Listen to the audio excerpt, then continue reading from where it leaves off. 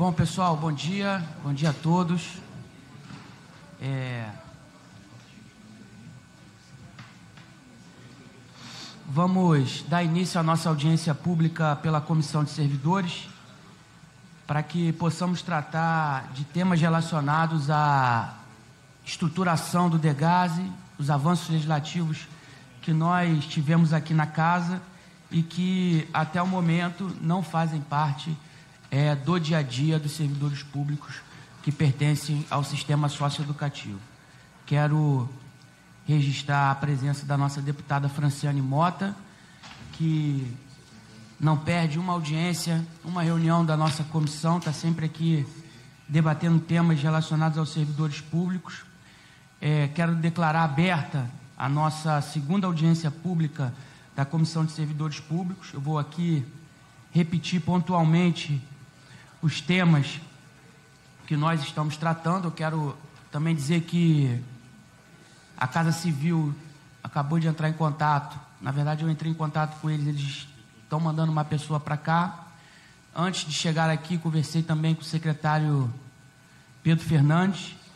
Né? É, depois da, da fala dos senhores, eu vou dizer mais ou menos o que me foi passado mas os temas que nós vamos tratar hoje nessa audiência é a implantação da nomenclatura dos agentes de segurança socioeducativo, conforme previsto na Lei 7694 de 2017. Ao que parece, a nomenclatura já é um avanço que já está fazendo parte do dia a dia do servidor público, mas é importante a gente escutar da categoria. Né, a implantação do regime adicional de serviço, RAIS, conforme o projeto de lei número 261 de 2019, aprovado nesta casa. A gente já tem a aprovação dessa criação do RAIS para o sistema socioeducativo. E aí, ultimamente, a gente teve a notícia da, da, exoneração, da, da, da, da exoneração de vários contratados, né? O que ainda faz com que seja iminente a implantação do RAS para os senhores. É, embora a gente saiba que vigora é, no estado do Rio de Janeiro regime de recuperação fiscal, a gente também precisa tratar da questão do concurso público para reposição das vacâncias no cargo, no órgão. É, e também um tema que é de extrema importância, lei aprovada por esta casa, que é a regulamentação do porte de arma, né, é, conforme a previsão da Lei 8400 de 2019, né, aprovada por esta casa. Então, são esses os temas. É, deputado, a gente deliberou aqui para a gente falar no final, né, escutar primeiro a, a categoria. Enquanto isso, a gente espera o representante da Casa Civil para poder também fazer a sua explanação. Então, eu gostaria é, de passar a palavra para a deputada Franciane apenas para uma saudação inicial. Só um bom dia.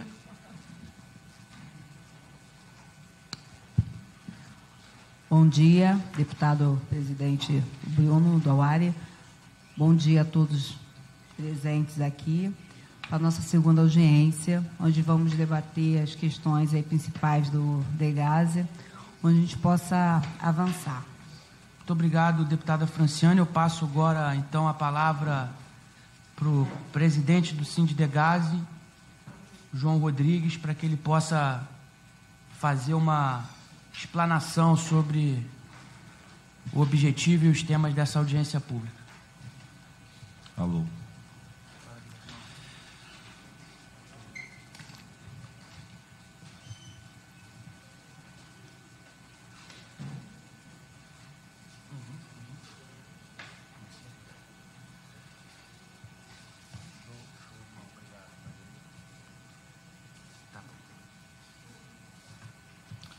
Bom dia a todos.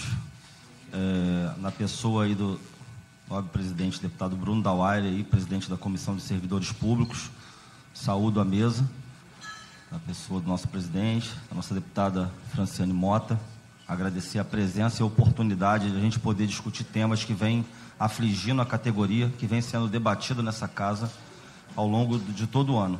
Saudar todo, todos os colegas aqui, os amigos guerreiros aí da, do Degase, que estão lá nas galerias, lá em condições subhumanas, que estão lá na galeria é, sem o mínimo de condições de trabalho e até aqui também sem oportunidade de é, melhorias para o órgão. E é atrás disso que nós viemos hoje. Então, deputado, gostaria de tentar narrar para Vossa Excelência um pouco da nossa trajetória do final do ano pra, passado para cá, né? Porque eu tenho que falar ainda, eu tenho que tocar no assunto que essa categoria, ainda na ocasião do segundo turno das eleições, foi convidada pelo próprio então candidato ao governo do estado, Wilson Witzel, né? A estar presente no clube municipal para o encontro das categorias de segurança pública, né? Então, nesse encontro, onde nós fomos convidados, eu procurei o, o, candidato à época e ele convidou a categoria a estar presente. Eu levei três pontos de pauta para ele que eram urgentes, né? Uma que era a questão do Degas estar na educação, né? Onde a gente está perdendo vários colegas assassinados por questão de ser um agente do Degas, por ser um agente do Estado, está morrendo em consequência disso. E por isso a gente precisava da defesa pessoal, do porte de arma. A gente precisava discutir que a Secretaria de Educação não é uma secretaria que condiz com a realidade do órgão, tá? É o único estado da federação que está na Secretaria de Educação. Os outros estados estão ou na Secretaria de Segurança ou na Secretaria de Justiça, onde a gente era aqui também. Até então, depois a secretaria foi extinta e a gente rodou algumas secretarias até parar na educação em 2008. E o legado é péssimo. Nosso salário é muito ruim. Então, tudo isso foi colocado. E aí, até para isso, porque a gente tem uma vacância enorme também é, no, nos quadros de servidores, né? cerca de um quarto das vagas hoje estão ociosas, mais de 600 vagas. Então, para isso foi colocado um tripé bem básico para o governador à época, para o candidato à época, que seria ver a questão da SEDU, que a gente ir para uma categoria que tivesse mais relação com a realidade do órgão, tá? mais é, é, voltado para a segurança pública, é, a questão do porte e a questão do RAIS, porque valorizaria o servidor de carreira a fazer hora extra, assim como já ocorre na Polícia Militar, como já ocorre na Polícia Civil, no sistema penal.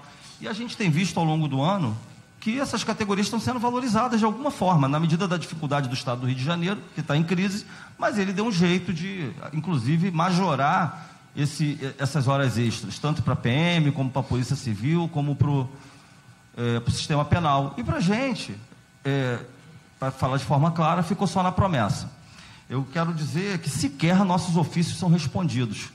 A gente, no primeiro dia útil de governo, no dia 2 de janeiro, eu estive lá na, na, no Palácio e protocolei ofício do Sindegás pedindo audiência com o governador.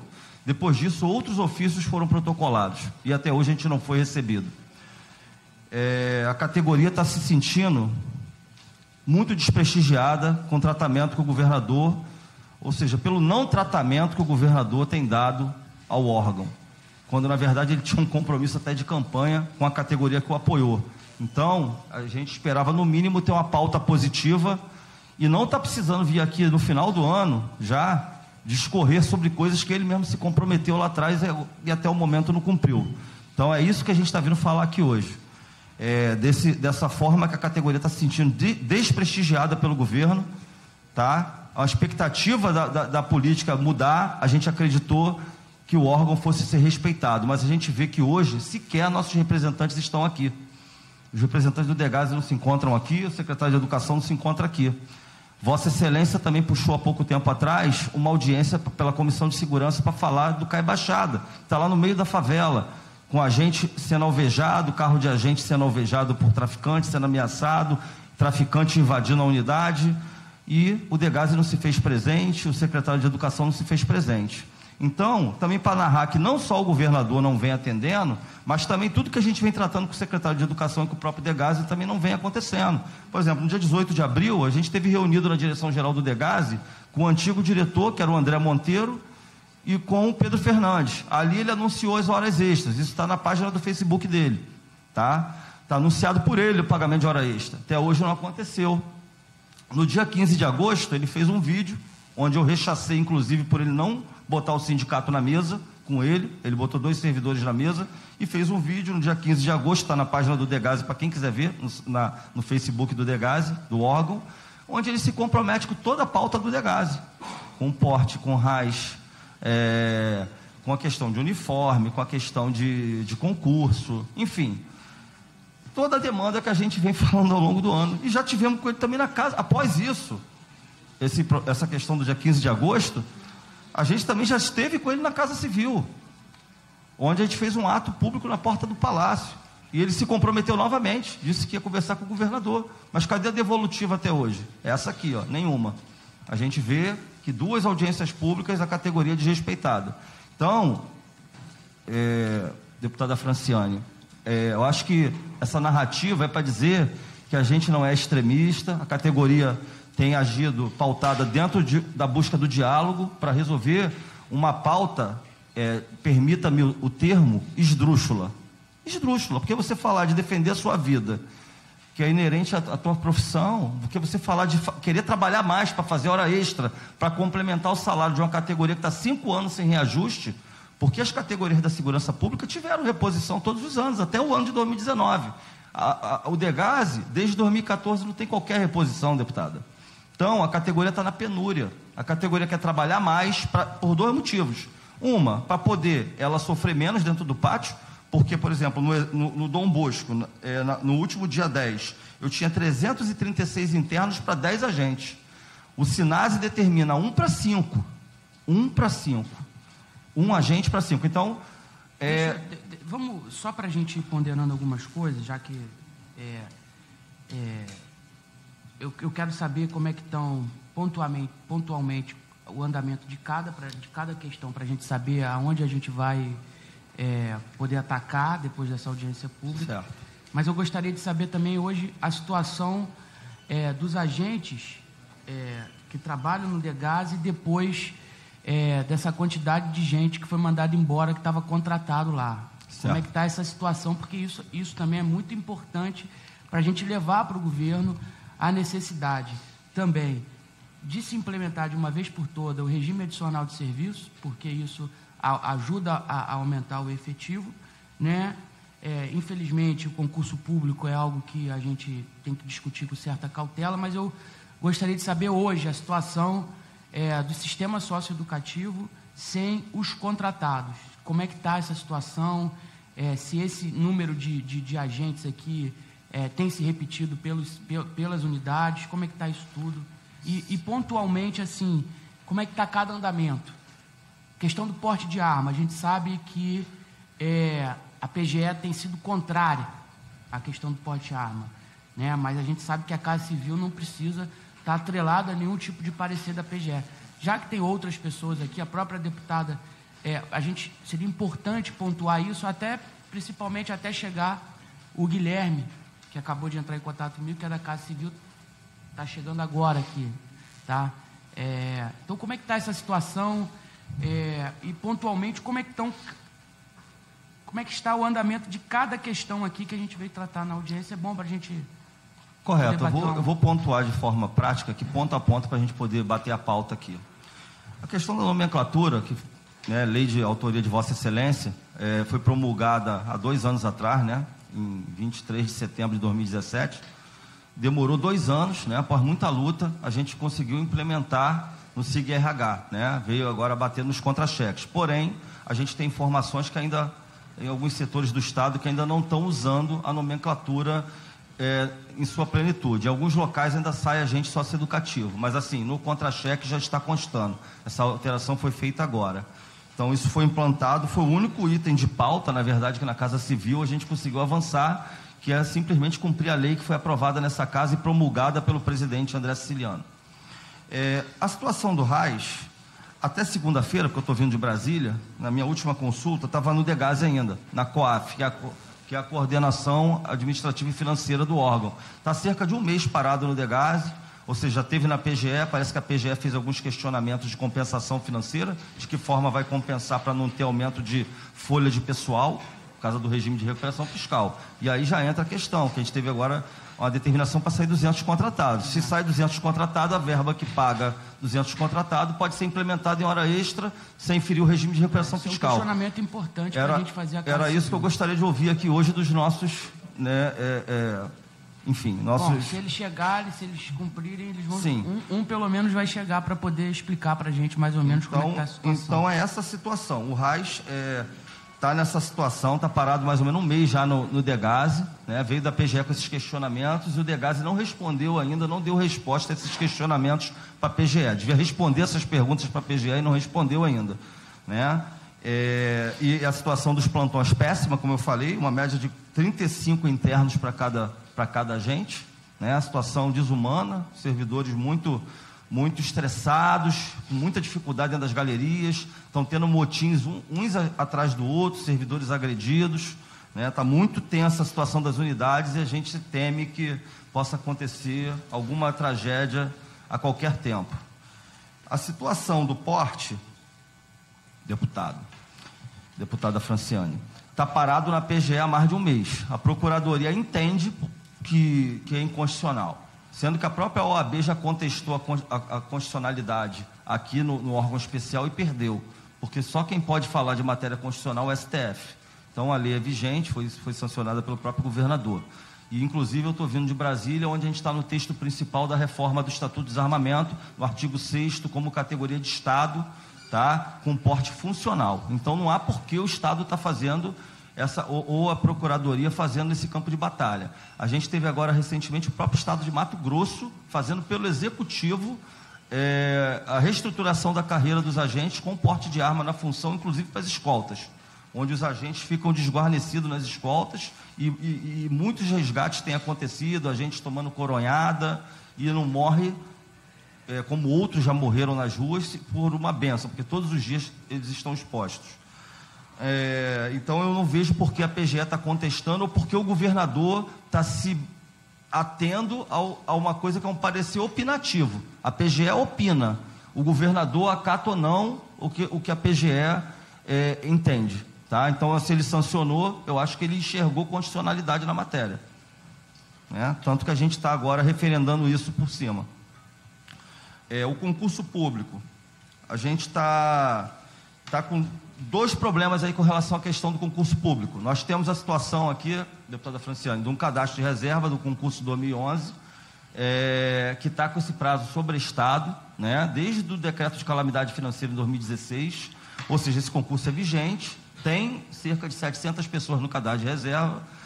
O único empecilho que a gente vê hoje, pelo menos assim, que a gente vê de dificuldade que a administração questiona, é não ter agentes no polo da capital para chamar, porque na sexta turma, quando entrou, foi chamado o resto dos agentes e a gente tem hoje agentes para o polo de Volta Redonda e Campos. Agora, os, os, outros cargos não, tem na capital, assistente social, psicólogo, pedagogo, enfermeiro. E os contratados que saíram não eram só agentes, saíram também enfermeiros, saíram psicólogos, pedagogos. Então, é uma assim, vacância. Uma vacância e uma necessidade de serviço dentro das unidades. Está faltando enfermeiro, está faltando psicólogo, está faltando assistente social, está né? Tá faltando atendimento técnico, está faltando é, equipe de saúde. O agente, é isso que eu falei, está tensa a situação, deputado, tensa. Então, a gente, e outra questão é o que o Degas está anunciando, porque é um questionamento que eu tenho feito, o governador diz que vai abrir 20 unidades, mas com que servidores para trabalhar? Servidores estão aposentando, a gente só teve três concursos, um em 94, um em 98 concursos com mais de 20 anos. Esses servidores estão em fase de aposentação. O último concurso é de 2011. O pessoal vai aposentar, quem é que vai tocar o Degase? A gente não aceita vínculo precário. Esses 200 que saíram, que não saíram todos ainda, diga-se de passagem, saíram 154, ainda tem 50 dentro do órgão, que aí eu acho que é o Degase que tem que explicar de por que, que ainda estão lá. É, a gente está passando por essa dificuldade, porque o Degase diz que vai assinar um TAC, o governo do Estado vai assinar um termo de ajuste de conduta com o Ministério Público para abrir 620 vagas de concurso. De concurso, ou seja, para repor vacância, que são essas vagas que estão hoje desocupadas dentro do órgão. São vagas previstas em lei do nosso plano de carreira e não estão ocupadas. Ou porque o servidor aposentou, porque saiu do órgão, né? Então, existem esses dois contextos. O que se faz com o cadastro de reserva de um concurso vigente e o, e, e o que o governo está indicando como, como é, a saída, que seria o concurso através de um TAC, assinar um termo de ajuste de conduta com o MP. Porém, eles não deram data de quando isso vai acontecer, tá bom? Relação, é, o que eu queria colocar aqui, um item que não está na pauta, mas que vem afligindo a categoria ao longo do ano, são as progressões funcionais. Tá? A gente tem pressionado o governo, a gente teve na Casa Civil, foram publicadas algumas progressões no início do ano, no primeiro semestre, mas a gente está com mais de 100 progressões paradas. Isso para uma categoria que está cinco anos sem reposição, Isso é um absurdo, porque é lei, deputado, é lei. O governo não pode reter verba de caráter alimentar, isso é salário, isso é salário. A gente tem requisitos é, muito, muito é, específicos para a gente progredir na carreira. A gente precisa de pelo menos quatro anos para poder progredir, a gente precisa ter 160 horas de curso para poder progredir e avaliação imediata do chefe, né, do seu chefe imediato da unidade, para poder progredir. Você cumpriu esses três requisitos, o governo não pode reter, mas está retendo. Está na Casa Civil, isso Você não é publicado. algum dado de número de progressões? Mais de 100. Mais. Tem mais de 100 paradas, tá? que estão aguardando publicação e implantar no contra-cheque. Então, isso são questões é, que a gente está muito preocupado, está afligindo a categoria, a categoria está muito massacrada, ninguém aguenta mais, deputado, essa omissão do Estado, e a gente não, não era essa agenda que a gente esperava do governador, a gente esperava uma agenda positiva, uma categoria que o apoiou, era o mínimo que ela espera é ser respeitada de coisas que ele já tinha conhecimento, ou de cumprir a lei, como são as progressões. Então, deputado, só para finalizar minha fala, já pedindo desculpa por me estender, é, são muitos os problemas. É, o governo do Estado está empurrando a categoria, depois de tanto diálogo, conforme eu narrei aqui, ou de tentativa de diálogo, porém todas frustradas, está levando a categoria para um clamor que está vindo da base, que eu estou aqui para fazer exatamente o que a base pede. E a gente já não aguenta mais. A base hoje só entende que só vai ser ouvida paralisando o serviço, deputado. Isso é bom para quem? Isso não é bom nem para os servidores, não é bom para o governo, não é bom para o interno, não é bom para ninguém. No final, todo mundo perde um pouco. Mas é o que vai acontecer, deputado. Sabe por quê? Eu tô, pela posição que eu estou vendo aqui, que a gente vai sair daqui sem uma posição do governo, eu vou pegar, vou aguardar até a próxima semana, pedir ajuda dessa comissão no que for possível, nessa interlocução com o governador, se pode fazer essa interlocução para eles receberem o sindicato, já que foi uma coisa que ele mesmo disse que faria lá atrás, antes de ser eleito, e não fez até hoje. Por quê? Se até a próxima semana não pintar nada, deputado, deputada Franciane, eu vou chamar uma assembleia com indicativo de greve e a categoria resolva seu futuro, porque eu sou apenas o porta-voz delas. E o que eu podia fazer, eu estou dando meu último tiro hoje nessa comissão. Eu já procurei o deputado Márcio Pacheco, também líder do governo, já encaminhei tudo para ele, já levou para o governador, porém a devolutiva nunca chega. Então, é o que me cabia informar. Eu agradeço a atenção de todos. Muito obrigado.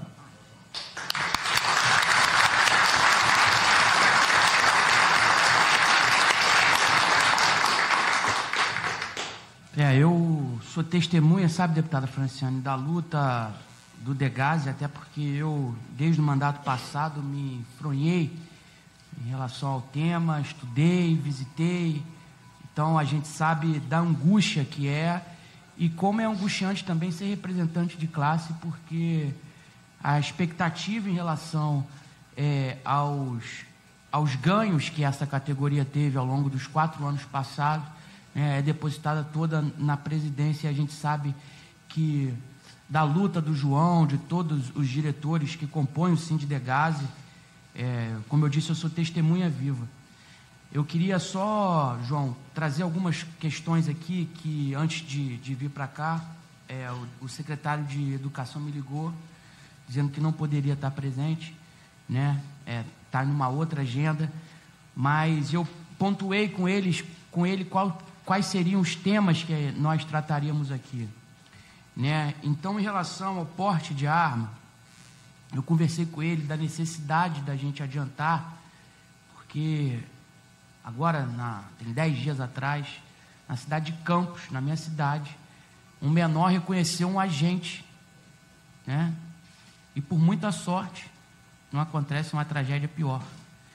E isso tem sido rotina rotina. Eu imagino que esses agentes estejam cada vez mais acuados em saírem para as ruas, com justamente com medo de serem reconhecidos pelos menores que eles né, é, lidam diariamente. Então, a necessidade da gente adiantar esse processo né, de regulamentação do porte de arma, ela é muito importante. E o Pedro me disse é, que realmente a PGE ela tem dito que é incondicional, né?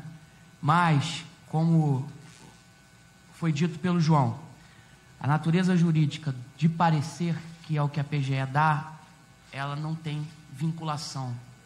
Então, Pedro, sabendo disso, disse que está esperando uma resposta da Casa Civil agora, se ele poderá passar por cima é, do parecer da PGE, que ele acredita que sim. Né? Então a gente aguarda aqui a Casa Civil. Eu tive pessoalmente com o governador já tem tempo, quando para tratar justamente da questão do porte de arma. Né? Ele me fez algumas exigências é, de caráter é, legal para que a gente pudesse estar ajudando a fazer esse, esse, essa regulamentação. Nós nos unimos né, para justamente fazer uma regulamentação que tenha é, constitucionalidade, que tenha legalidade. Fizemos assim, né, apresentamos para que eles pudessem, através da nossa regulamentação, preparar deles, né, embasado na nossa. Mas a verdade é que até hoje, infelizmente, os agentes não têm regulamentado o porte de arma. Então, eu, em relação ao porte de arma, eu queria trazer essa posição do secretário Pedro Fernandes. A gente sabe é, que o que a gente precisa é celeridade. É lei, é aprovada, não é inconstitucional. Os agentes estão morrendo, né? né? Os agentes estão morrendo. Então, é, pelo menos há da Secretaria de Educação né, a vontade de ultrapassar essa barreira imposta pela PGE. Eu queria que, que o representante da, Secretaria, da Casa Civil estivesse aqui para poder responder o que está faltando para a gente ter o porte de arma. Eu espero que o doutor Guilherme, me ligou agora, disse que estaria chegando em 30 minutos, possa responder. Né?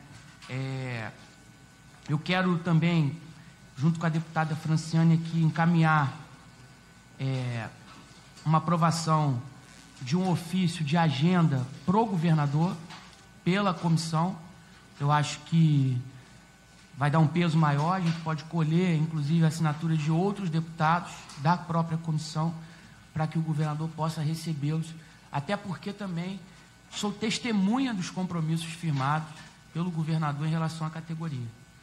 E muitas das vezes a gente sabe que a cabeça do governador ela é muito atarefada. Então muita coisa não chega lá.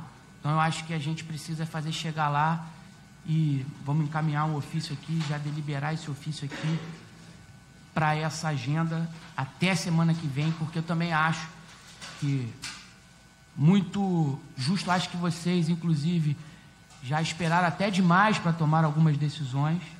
Eu sou deputado, sou parlamentar, sou líder do partido do governador aqui, mas é, quando tenho que me posicionar, eu sempre me posiciono.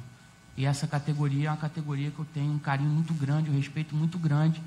Então eu sei do sofrimento de vocês e o meu posicionamento é justamente ao lado dos senhores, porque sei da necessidade, sei dos avanços que inclusive nós participamos aqui na Assembleia né? Muitos desses avanços eu fui autor deles e fico muito agoniado, inclusive como líder do PSC, não ver esses avanços incluídos no dia a dia do servidor público. Agora, com uma força um pouquinho maior, dada pelo presidente André Siciliano, que me colocou aqui nessa cadeira de presidente da Comissão de Servidor Público, podendo estar é, tá realizando esses tipos de audiência, podendo estar tá realizando esses tipos de pressão política, muito embora eu faça parte da base do governo, muito embora eu faça, seja líder do partido do governador, mas eu acho que alerge, alerge, deputado, deputado, executivo, executivo, e a gente tem que estar muito bem é, em harmonia, em respeito, mas uma coisa é muito diferente da outra, e eu estou aqui hoje justamente para deliberar a implantação desses avanços no dia a dia dos senhores.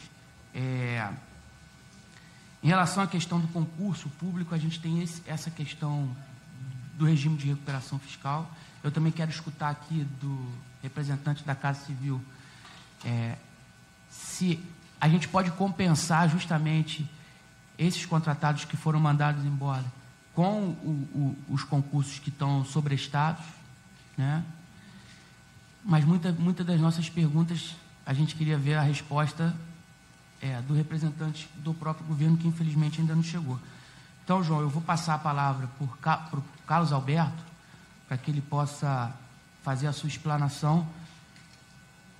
E a gente espera que o representante do governo chegue até o momento, até o final da nossa audiência. É, boa tarde, deputado. Boa tarde, deputada Franciane.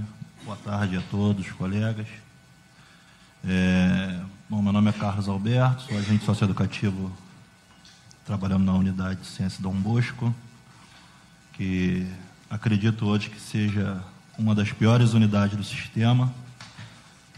É, só para complementar uma fala do deputado sobre o risco que a gente corre permanentemente, deputado, esse colega de Campos, é, ele não foi reconhecido, não.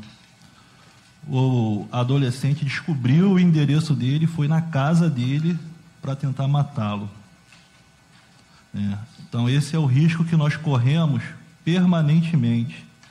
Eu não tenho mais o direito de ir a uma praia com as minhas filhas. Eu não tenho o direito de ir na casa de um familiar que mora na comunidade. Eu não posso frequentar uma festa de família de quem mora na, na, numa comunidade. Foi cerceado esse meu direito. E tudo isso, deputado, a gente vem trazendo com todas as dificuldades do sistema, carregando esse sistema nas costas. Né? Eu entrei em dezembro de 2014. Até hoje nunca tive um reajuste no meu salário. Pelo contrário, eu ganho menos do que eu ganhava quando eu entrei. Porque como houve o aumento da nossa contribuição previdenciária, eu hoje ainda recebo menos 3% do meu salário de quando eu entrei no Degase. Então, se o senhor parar para pensar, nenhum colega aqui da categoria, o próprio João, nós não levamos a reivindicação tão grande para que aumente o salário. Até porque nós sabemos de toda a dificuldade que o Estado enfrenta. Nós pedimos só que cumpra a lei do RAIS, para nós darmos mais trabalho e poder aí sim ter um pouquinho mais de dinheiro para nossa família, né? É, é muito complicado a gente chegar em casa, ter que investir num plano de saúde, não pode. A gente tem que investir numa condução própria no carro, não pode. E aí vem correndo todos os riscos que nós corremos sem ter um amparo do Estado carregando o sistema nas costas. E quando é para fazer a lei, não se faz, não se cumpre, está sempre burlando. A gente trabalha, chegamos a trabalhar lá mês passado com quase 400 adolescentes. Nós teríamos que ter um agente para cinco adolescentes. Nós trabalhamos hoje com a média de 30, 40 adolescentes por agente. Nós teríamos que sair para a rua com acompanhamento, que, né, como o João diz, nós não fazemos escolta, porque escolta é armado e a gente não, não faz escolta, faz acompanhamento. Com 16, com 18, com 20 adolescentes numa viatura, com um agente. Mas o SINASE determina que nós teríamos que ter dois agentes para cada adolescente. E nunca é cumprido, deputado. Então, assim, o massacre é sempre em cima da categoria. E aí a gente tem hoje aqui, que eu acho uma falta de respeito, os representantes que deveriam ter as respostas para os nossos questionamentos não nos dão. Então, assim, eu fico muito triste. A gente tem perdido grandes servidores do departamento para outros concursos e outros pedindo exoneração para o setor privado porque não aguenta mais carregar o sistema nas costas. Então, assim, eu agradeço muito ao senhor, a essa casa que tem cumprido né, com as nossas reivindicações, tem corrido atrás, tem aprovado leis a nosso favor. Mas, na verdade, nós não vemos essas leis serem concretizadas em nossas vidas. Nós não estamos usufruindo dos benefícios que essas leis poderiam nos trazer. Então, assim, eu Gostaria muito que tivesse uma resposta do governo, do secretário, do próprio departamento, né, que trouxesse essas respostas para a gente. Porque é muito difícil para a gente, como servidor, ouvir do colega falar: Eu estou indo embora, eu estou saindo, porque eu não aguento mais. A minha família precisa comer. E o salário que nós estamos tendo aqui é um salário de fome. É muito difícil você ficar cinco anos sem ter um reajuste, sem ter uma reposição, não digo nem reajuste, não, uma reposição inflacionária. O nosso salário está sendo consumido pela inflação e o governo nada faz. Né? Então nós temos aqui o desrespeito da nomenclatura, que ainda não está 100% implementada, né? trazendo para as pautas daqui, que você pega uma publicação no Diário Oficial, por exemplo, da Secretaria de Saúde, onde publica é, os readaptados, eles não usam. Então, qualquer, nome, qualquer publicação no Diário Oficial de outras secretarias tratando a respeito do, do agente de segurança socioeducativo não cumpre a nomenclatura. Né? O porte parado na PGE, porque eu não entendo o porquê desse de um parecer da PGE dizer que é inconstitucional e isso não vai para frente, já que nós sabemos que esse parecer tem que ser do STF. O parecer, o parecer, o que chama mais atenção, deputado, é que o parecer é posterior à aprovação da lei. Né? É, na tramitação da regulamentação é que veio esse parecer. Então, ele é, ele é um controle de constitucionalidade é, que eu nunca vi na vida, porque depois de lei aprovada, é, ele não é órgão de controle, é órgão opinativo, né? Está lá. É, depois de aprovada a lei, né? poderia, poderia opinar antes da aprovação, antes da sanção, né? o que não foi feito. Então, assim, é, o que chama mais atenção é que essa, a gente vê que há um caráter protelatório é, da PGE justamente para não implementar isso, porque se atrelar, aparecer é, de lei aprovada, é um desrespeito a essa casa.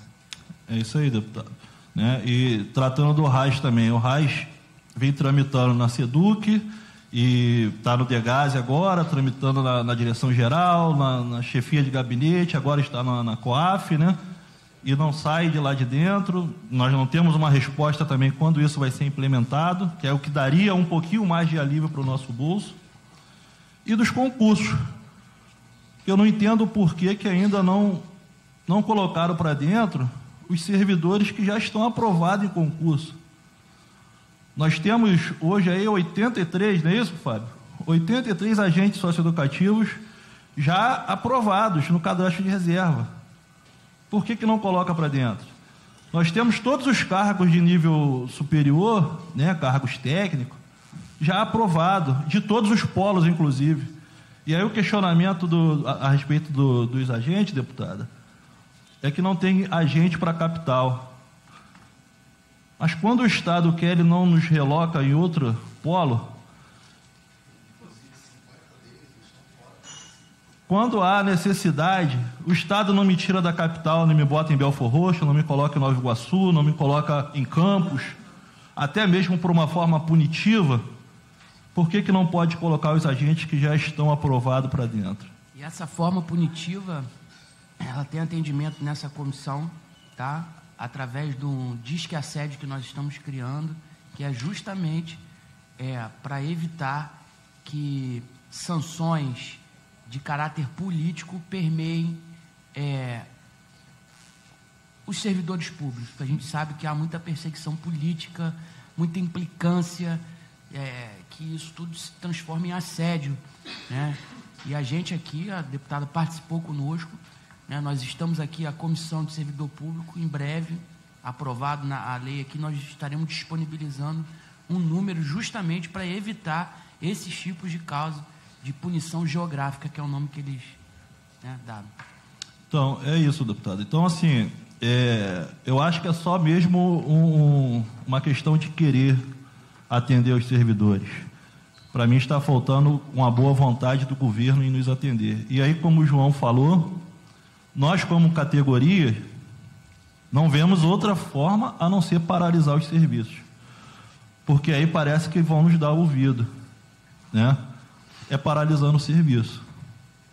O que está muito difícil, João tem lutado muito para que isso não aconteça, é, aguardando a devolutiva, né? o, o senhor sempre com, com o gabinete aberto para as nossas questões, mas está muito difícil. tá, é quase um ano de governo que nos prometeu né, que, que nos daríamos pelo menos atenção à nossa categoria e essa atenção não veio. Então, eu acredito que, como o João falou, essa aqui é o nosso último tiro, é a nossa última cartada. Porque nós não vemos outra forma a não ser paralisar, cruzar os braços e aí sim esperar o que o governo vai ter a fazer. Porque está muito difícil para a gente aguentar toda essa pressão. Né? com todas as dificuldades que nós enfrentamos. Sabe, né? deputada, eu, no ano passado, foi ano passado, a gente fez várias diligências nas unidades, né? A situação dos servidores já era um caótica.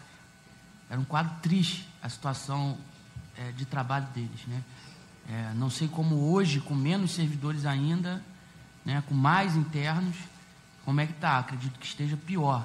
Mas eu cheguei a visitar uma unidade deles é, na Baixada que no Natal anterior, dois traficantes invadiram com fuzil, deram uma volta de moto dentro da unidade. Eu estava lá e presenciei Então, assim, é, é realmente é, um, um, quadro triste, porque eles ficam na, na, na área da educação, mas, na verdade, eles são o verdadeiro patinho feio da secretaria. Né? Eu fico muito triste em dizer isso. Mas a verdade é que tudo em relação ao sistema socioeducativo parece que há sempre uma intenção protelatória para fazer com que as coisas não andem.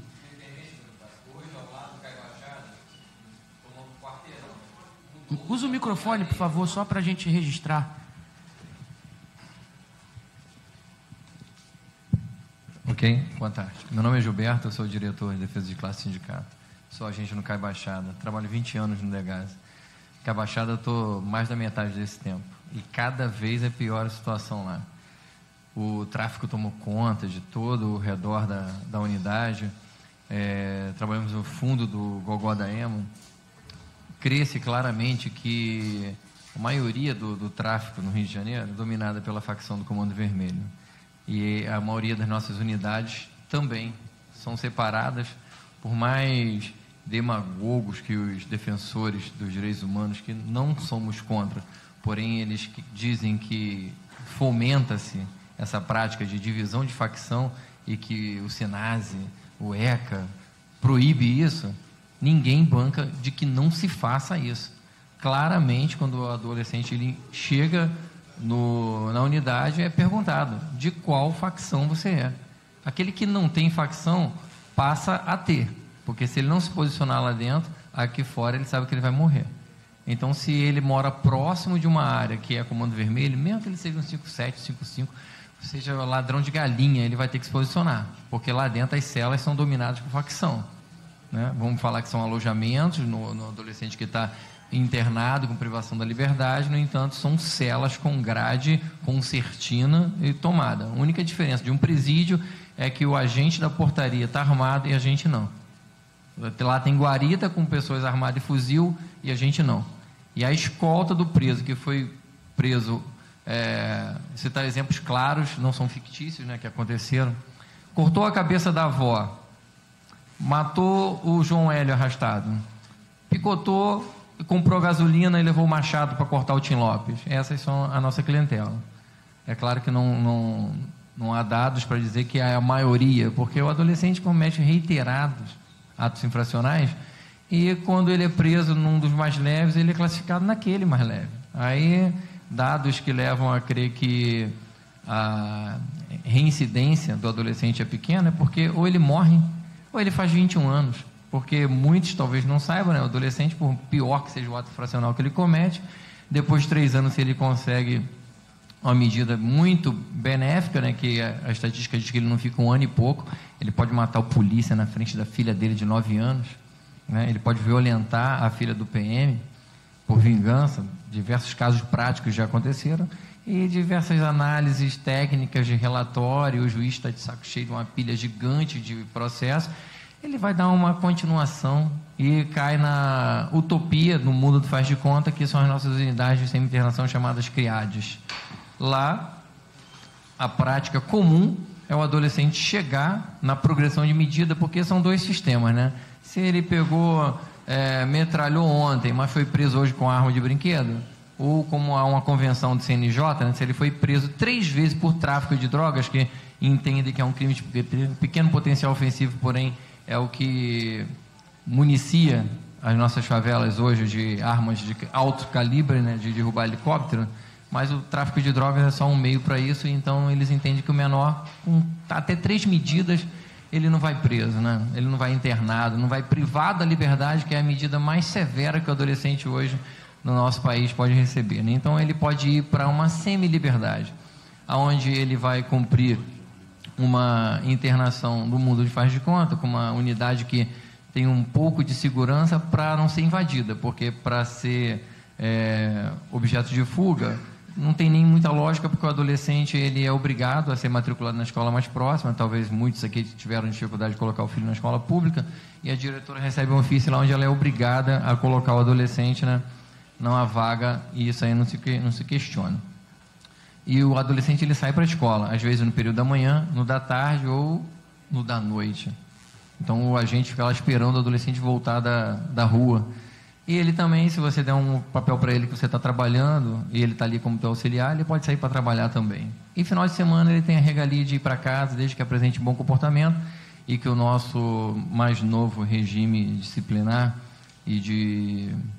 O nosso caderno, como é que é o nome? O regimento interno, né? Prevê que é. Correto. É, que que nos oprime, né? O regimento interno feito pelo MP sem muita anuência da categoria, né? Sem nenhuma praticamente. É, coloca que até para privar um adolescente que mandou o funcionário para tudo quanto é lugar, ou como eles dizem, chamou para fazer na mão, ameaçou de morte, seja lá o que for, para você tirar um final de semana de um adolescente rebelde desse é difícil. E ao chegar lá nessa unidade do mundo de faz de conta, o menor responde: funcionário, não vou cumprir não. Aí ele vai e pula e vai embora. Ou então ele espera a primeira saída dele para a escola e vai embora, ou o primeiro final de semana dele para casa e vai embora, não retorna mais. Aí é expedido um outro mundo de faz de conta, um mandado de busca e apreensão, e que quando ele tropeçar numa operação policial, numa delegacia, ou rodar por outro crime, seja ele qualquer que seja, ele vai de novo ser reconduzido a esse mesmo sistema do mundo de faz de conta, de voltar para semi-liberdade. No Cai Baixada, que é uma unidade de privação de liberdade, é, na esquina, quando o senhor foi lá, né, a portaria já era nova, porque a portaria teve que ser retirada, porque o tráfico estava usando muito aquela passagem por trás, então achou-se por bem, por conta do alagamento que é constante na, na região, mudasse a portaria de lugar, e aí também você ficou um pouquinho distante do vizinho, do tráfico, que é muro com Cai Baixada. Na lateral do Cai Baixada existe uma barreira do tráfego onde os carros não passam mais na lateral do Cai Baixada. É uma unidade que faz um quarteirão e no quarteirão da direita há uma barreira do tráfego. Todos os moradores vão entrar lá ao acessar o Automóvel Clube, são orientados, pichação no muro, inclusive algumas de ameaça de morte aos agentes, de que devem andar com farol apagado, luz acesa à noite, pisca-alerta ligado de dia. Então, é lamentável a nossa situação. E como o senhor sabe, né, a, o déficit de agentes já era grande e com a saída dos contratados, que o Estado deixou acontecer por demasiadamente tempo demorado, né, agora se tornou caótica. É lamentável a nossa situação. Obrigado. Quer concluir? Ah. Não, é, o final era só mesmo para falar a respeito do, do, contrato, que eu não entendo por que, que isso já não tinha sido feito há mais tempo e, e, colocado os concursados que aí estão aguardando no cadastro de reserva, né? E aproveitar agora, já que existe essa verba ociosa desses contratados que foram retirados, por que não implementar o RAIS de fato? Né? Mas, infelizmente, essas respostas ficaremos aguarda, sem. Calma, a gente aguarda né, com bastante paciência o caminhar do pessoal da Casa Civil. É só isso. Eu queria agradecer ao deputado, a deputada Franciane, e que a gente consiga achar nossas respostas. Muito obrigado. obrigado. É, agora com a palavra o Fábio Mesquita.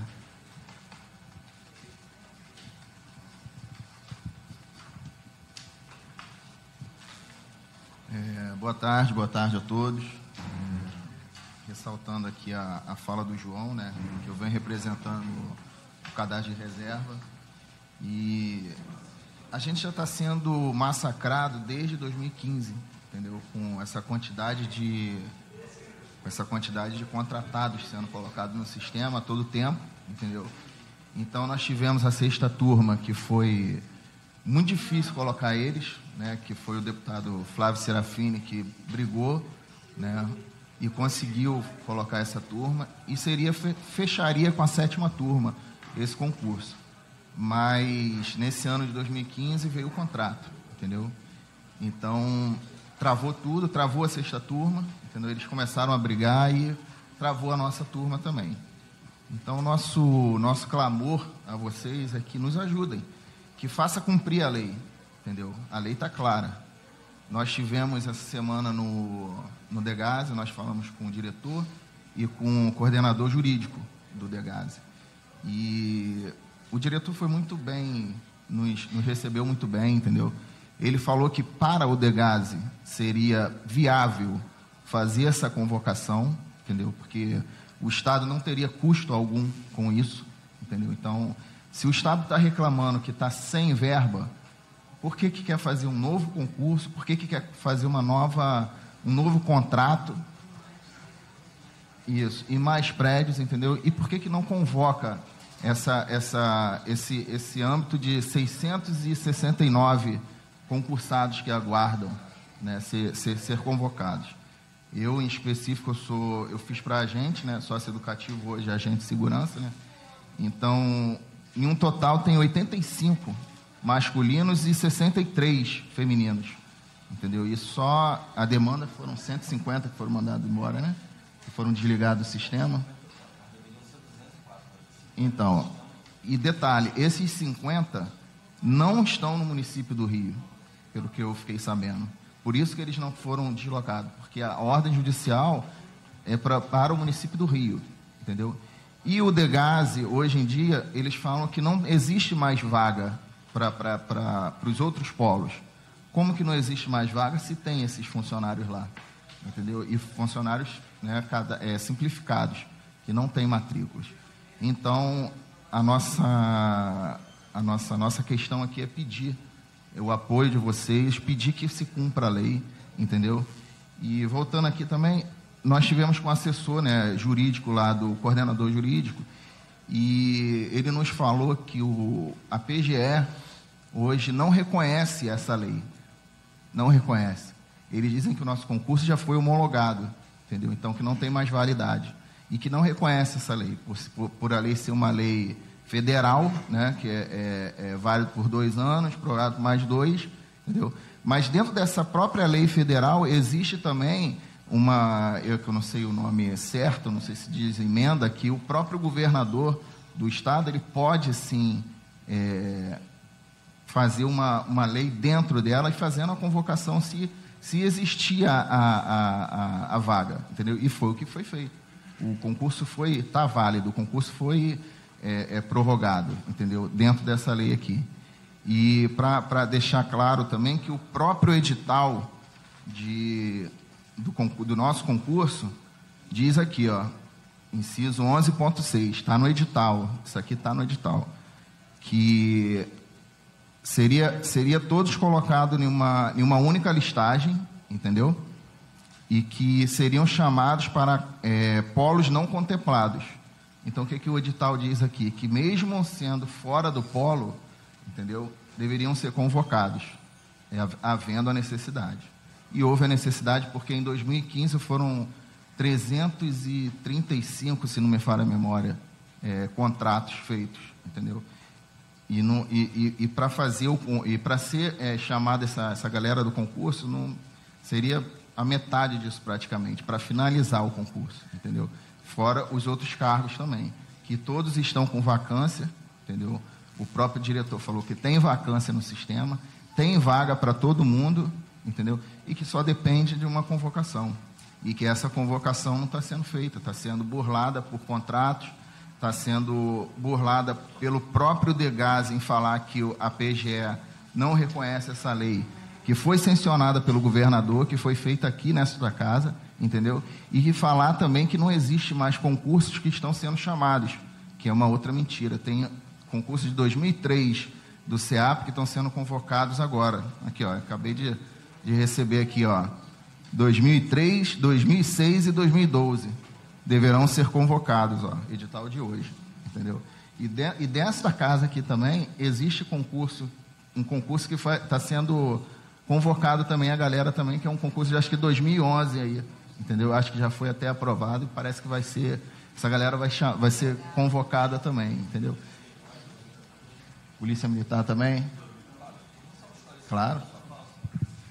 Só um, um parêntese aqui para clarificar do que, que o Fábio está falando, né? É, com relação ele fala do descumprimento da lei, na verdade é aquilo que eu falei lá atrás no começo. É, no, na, quando você entrou aqui com, com, o decreto de calamidade financeira, um Dornelles ainda, né? Sobrestou-se os prazos do concurso e parece que esse ano o deputado Rodrigo Amorim também já entrou com uma nova lei nesse sentido, de sobrestamento. Então, continua todos os concursos sobrestados a partir de 2016 para cá, que foi é, é, a questão do decreto de calamidade financeira. Ou seja, ela foi estendida até o final de 2019, todos os concursos estão com seus prazos suspensos. E o Degas alegou para eles que essa lei aqui não vale, que a PGE não reconhece a lei que essa casa aprovou sobre sobrestamento de concurso. Obrigado, Fábio. Então, deputado, deputada, é, esse é o nosso pedido hoje, entendeu? Que a gente vem brigando aí desde 2015, entendeu? E agora, nessa, nesse caos que o sistema hoje se encontra, mais ainda, entendeu? Então, a gente pede, é, pelo amor de Deus, a vocês que levem isso ao, ao governador, que levem isso ao secretário, né, que não tem um representante deles aqui, e mostrar para eles que o cadastro de reserva existe, entendeu? existe, como eles falaram. E, e detalhe, o próprio coordenador jurídico do Degase, nessa semana, nos falou que foi um erro brutal do Degase ter feito esse concurso de 2015, esse contrato de 2015. Por quê? Porque a CEPERG, a banca que fez o concurso, não passou para o Degase que existia o cadastro de reserva, entendeu? Então ele nos falou que o quê? Que o Degase não sabia desse cadastro de reserva, fez o concurso simplificado, entendeu? E que inclusive foi um erro brutal do Degase ter feito. Queria registrar a presença do representante da Casa Civil, o doutor Guilherme. O doutor Guilherme é um companheiro ficou. Foi avisado agora de última hora da audiência pelo, pelo pessoal da Casa Civil e fez questão de, de estar aqui conosco para poder. Muito obrigado, doutor Guilherme. A gente está aqui escutando primeiramente os representantes do sistema socioeducativo. É, falou aqui o, o João, que é presidente do Sindegase, falou o Carlos Alberto, e agora fala o Fábio Mesquita, que é representante do pessoal do concurso de 2011 Sim. Do Degase, que tem questionado muito essa comissão a respeito é, da convocação deles em virtude dessa recente é, debandada de mais de 150 contratados que estavam fazendo parte do sistema socioeducativo.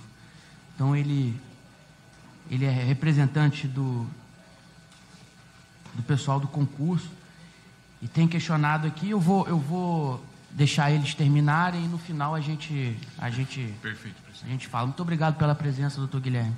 Obrigado. Presidente.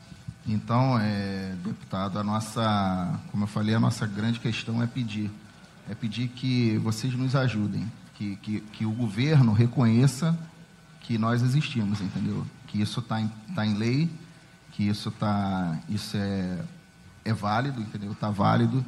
Então, que não terá custo algum para o Estado, entendeu? Fazer essa convocação, porque a CEPES, se não me falha a memória, é um órgão público, né? Que se tiver que fazer uma, uma, um curso, lá mesmo é feito.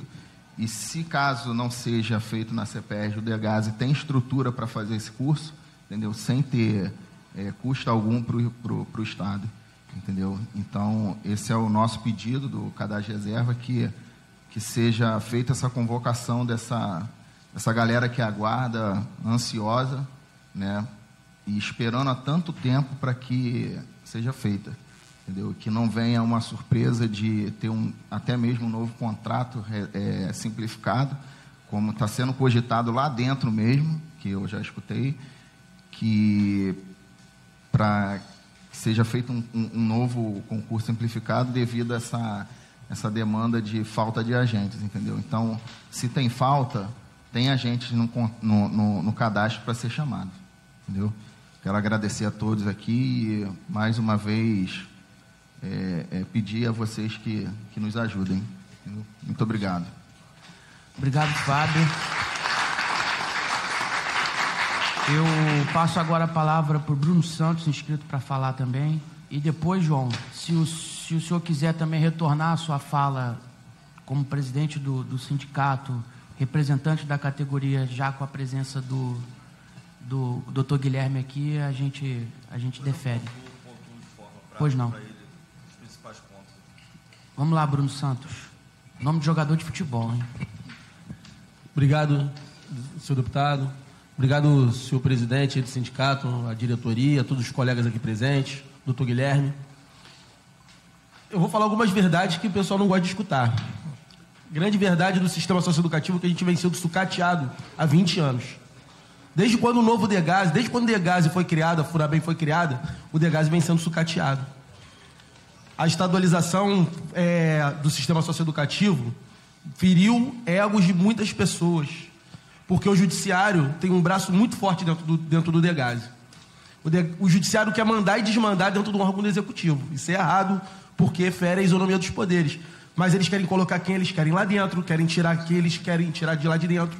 Nós tivemos no, no, no, nos últimos meses aí diversas decisões de diretores de unidade do Degase de afastamento por membros do Poder Judiciário, sem devido processo legal, como aconteceu com a Milton dentro do Dom Bosco sem o devido processo legal, o diretor ser afastado por uma decisão judicial de uma juíza sem o devido apuramento, simplesmente por ilações de pessoas que têm total interesse de ver o caos dentro do, dentro do sistema socioeducativo. É, eu fico muito triste de, de a gente ver isso e ver a sociedade civil calada, vendo as pessoas querendo fazer política em cima das carreiras das pessoas. O judiciário, é, com essa intervenção bruta dentro do Degase, é, querendo colocar pessoas que não são qualificadas, que não prestaram concurso público dentro do sistema, o legislativo querendo colocar pessoas que não são qualificadas dentro do sistema socioeducativo para poder fazer políticas é, escusas de estar tá conseguindo seus cargos, conseguindo suas, é, seus currais eleitorais e utilizando do serviço público da maneira mais suja e feia para poder se manter em seus poderes, em seu, é, nos seus, na sua zona de conforto. Então, a primeira coisa que a gente tem contra o contrato dentro do Degase é acabar com esse tipo de política, colocar pessoas dentro do sistema que não são é, qualificadas para estarem lá dentro e que não passaram pelo crivo do concurso público. Não existe dentro da Polícia Civil isso, não existe dentro da SEAP mais isso, não existe dentro das guardas municipais isso. Qualquer órgão minimamente estruturado, você tem os servidores de carreira e essas carreiras são respeitadas. Na LERJ, a diminuição de, de, é, de, disso está acontecendo. Você tem sim os DAS, os cargos de livre nomeação e exoneração, como existe em qualquer lugar do serviço público. Isso aí é válido, é legal. A equipe de direção tem o direito de colocar quem ela quer colocar por esse viés, mas não criar quadros de carreira com pessoas da sua confiança. Isso não existe. A administração pública não é pautada por esse princípio. E é, o, é a briga que nós queremos acabar é, dentro do sistema socioeducativo para poder qualificar os servidores, para poder melhorar nossas condições de trabalho, melhorar o atendimento que nós prestamos. Agora, é difícil você querer melhorar o atendimento socioeducativo para um jovem, você pagando R$ 2.500 para um, um servidor. Que atendimento é esse que você quer dar se você está pagando para um policial para prender esse jovem 7 mil, para o oficial de cartório para registrar isso 7 mil, para o CEAP, para poder cuidar de um, preso que é um trabalho similar, 4.500 de inicial, e para o Degas você quer pagar 2.500 reais para poder exigir a melhora desse adolescente? Não me diz é hipocrisia, é, é demagogia. Você não quer fazer política pública. Você quer simplesmente tapar o sol com a peneira e fingir que a coisa está acontecendo de uma maneira que é impossível de acontecer. Se você não dá prioridade naquilo financeiramente, vai acontecer o que acontece hoje. O Degase vai lá, o cara faz o concurso, dá dois anos, o cara mete o pé para outro concurso melhor, você não dá carreira para esse pessoal. Você não dá qualificação, você não dá é, vontade dessa pessoa ter de crescer dentro do sistema. As, as pessoas que ficam dentro do sistema hoje são verdadeiros heróis, porque são, é vocação. O cara ficar ali dentro, dentro, dentro de um órgão aí 20 anos, 30 anos, porque a gente gosta muito daquilo que a gente faz e simplesmente a gente, a, a, gente acredita que um dia vai melhorar. Porque quem entrou no sistema 20 anos atrás, há 10 anos atrás, ganhava-se ganhava bem. Ganhava-se em torno de 10 salários mínimos. Hoje o cara não ganha 3. Hoje o funcionário do Degás não ganha 3 salários mínimos para fazer um trabalho com a complexidade que a gente executa. É um absurdo.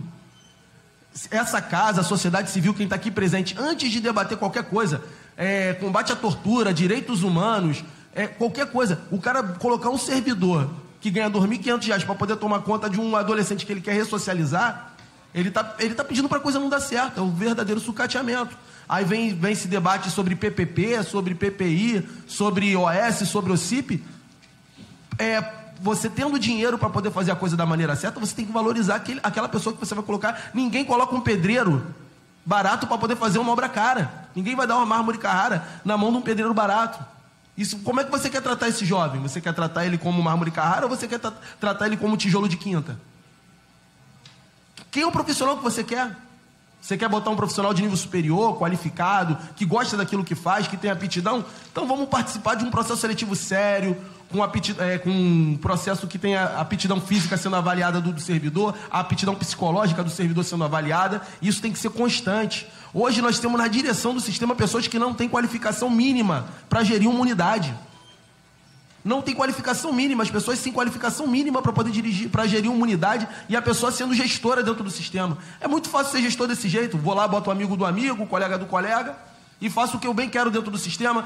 Aconteceu uma situação absurda agora no Dom Bosco. Foram colocados 66 colegas dentro do Dom Bosco para trabalhar e a, e a direção do Dom Bosco afastando colegas.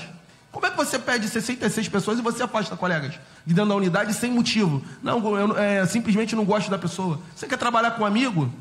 Abre uma empresa, pô. Faz uma associação. Eu não quero trabalhar com amigos, eu quero trabalhar eu com o João, a gente quebra pau no grupo do WhatsApp. A gente não tem que ser amigo, a gente tem que se respeitar e fazer um trabalho profissional. A gente tem que fazer um trabalho profissional. Aqui na LERJ, quanto tempo o senhor está aqui e toma café com pessoas que às vezes você não tem tanta amizade, você faz um teu trabalho profissional, passa pelo crivo do, da eleição, que é um crivo justo, para poder estar tá aqui mais, em mais um mandato. Eu acho justo, a, a deputada da mesma forma. Então a gente tem, temos alguns crivos justos e outros injustos. Eu acho que aqui ninguém é santo, todas, todas as pessoas têm seus interesses. E o meu interesse aqui hoje é defender a qualificação do servidor. Porque para o Estado é muito mais barato pagar bem para a gente fazer um bom serviço do que você ficar toda hora criando OS, OCIP, PPP. Daqui a pouco vai vir uma determinada, uma grande empresa, vai botar rios de dinheiro no bolso e vai fazer um péssimo atendimento socioeducativo. Que interesse é esse que está sendo defendido? Simplesmente econômico de, de, alguns grupos, de pessoas que querem destruir o sistema? Então, é, seu deputado, eu acho que a gente tem que sair daqui hoje com, com, tendo você sempre como uma referência, da, é, uma, uma liderança, uma referência para a gente aqui dentro da, dessa casa, dentro do governo, levar essa mensagem para o governo que a gente, tá, a gente vai cada vez se unir mais como categoria para poder combater esse tipo de postura que a gente está vendo. A gente sabe, como, como falaram lá atrás para a gente, é, o, o, cargo de agente de segurança socioeducativa, eu, eu sei o que, que vocês querem lá na frente. Hoje, esse sucateamento, eu sei o que, que o governo quer lá na frente. Só que, se ele está pensando que ele vai travar uma, uma guerra e aí, com cachorro morto, ele está enganado. Eu e toda a categoria, a gente tem soldados que estão prontos a lutar pelo interesse das nossas famílias, porque é o nosso bolso. Eu fiz um concurso público, eu tenho aptidão, eu gosto do que eu faço, eu estou lá para poder atender o jovem sim, com respeito, com disciplina, com tudo, mas eu não vou deixar pessoas de fora virem para poder mandar na minha casa. Eu não venho, eu venho aqui na LERJ, eu passo pelo detector de metal dez vezes. Dentro da, da, da, da, sua casa, o pessoal da segurança da LERJ tem que mandar. Se ele te mandar eu tirar a roupa num determinado local reservado para aquilo, pela segurança da sua casa, eu vou fazer. Por que quem vai lá dentro do Degase, o cara não quer passar pelo detector de metal? Por que, que a, a deputada Flor de Lis, que estava com o filho apreendido, não tem que passar pelo detector de metal se ela é mãe de um adolescente preso? Qual a diferença dela para outra mãe de adolescente? Qual que é a diferença? Ali é para todos. Se ela tivesse lá na condição de deputada para fiscalizar, beleza. Se ela passou lá na condição de mãe de interna, ela tem que passar no detector de metais. Ela e qualquer um. Não interessa o, o, Estado Democrático de Direito, não é isso. Ela se utilizar da prerrogativa do cargo dela para poder dar benefício para o filho dela. Isso não pode acontecer num, num, estado, num país de Estado Democrático de Direito. O diretor não pode escolher com quem ele vai, vai, vai trabalhar, se ele está precisando de gente, mandar o cara embora simplesmente porque ele não, não acha o cara bonitinho. A gente tem que mudar isso. E outra coisa que eu quero cobrar aqui, que infelizmente, eu, eu, uma dos meus pontos de, de discordância com o Cindy Degase, Nada contra a pessoa do Márcio, acho ele uma pessoa qualificada, o Azeredo que está chegando lá no órgão. Agora, o, quando eu fui naquela reunião lá na Tijuca que nós falamos, foi combinado com a nossa categoria que uma pessoa do órgão iria gerir o órgão. Por que, que essa opção não foi dada para gente? Uma lista tríplice, como ele falou, quem falou foi o Whitson. Quem falou foi o governador. E simplesmente depois que você assume no dia primeiro, aquela cadeira muda tudo, né? Tudo que se fala numa campanha política muda. As pessoas mudam, eu, graças a Deus, eu trato com o doutor Bruno sempre, com o deputado Bruno. Toda vez que eu vim aqui, eu sempre vejo ele fazendo a coisa da mesma forma. Pô, isso aí não dá para fazer, isso dá para fazer, então não promete. A gente não está lidando com criança. Nem com adolescente eu faço desse jeito, jovem. Dá para fazer. Ó, água gelada? Tem. Se o freezer não está funcionando, ó, não tem água gelada.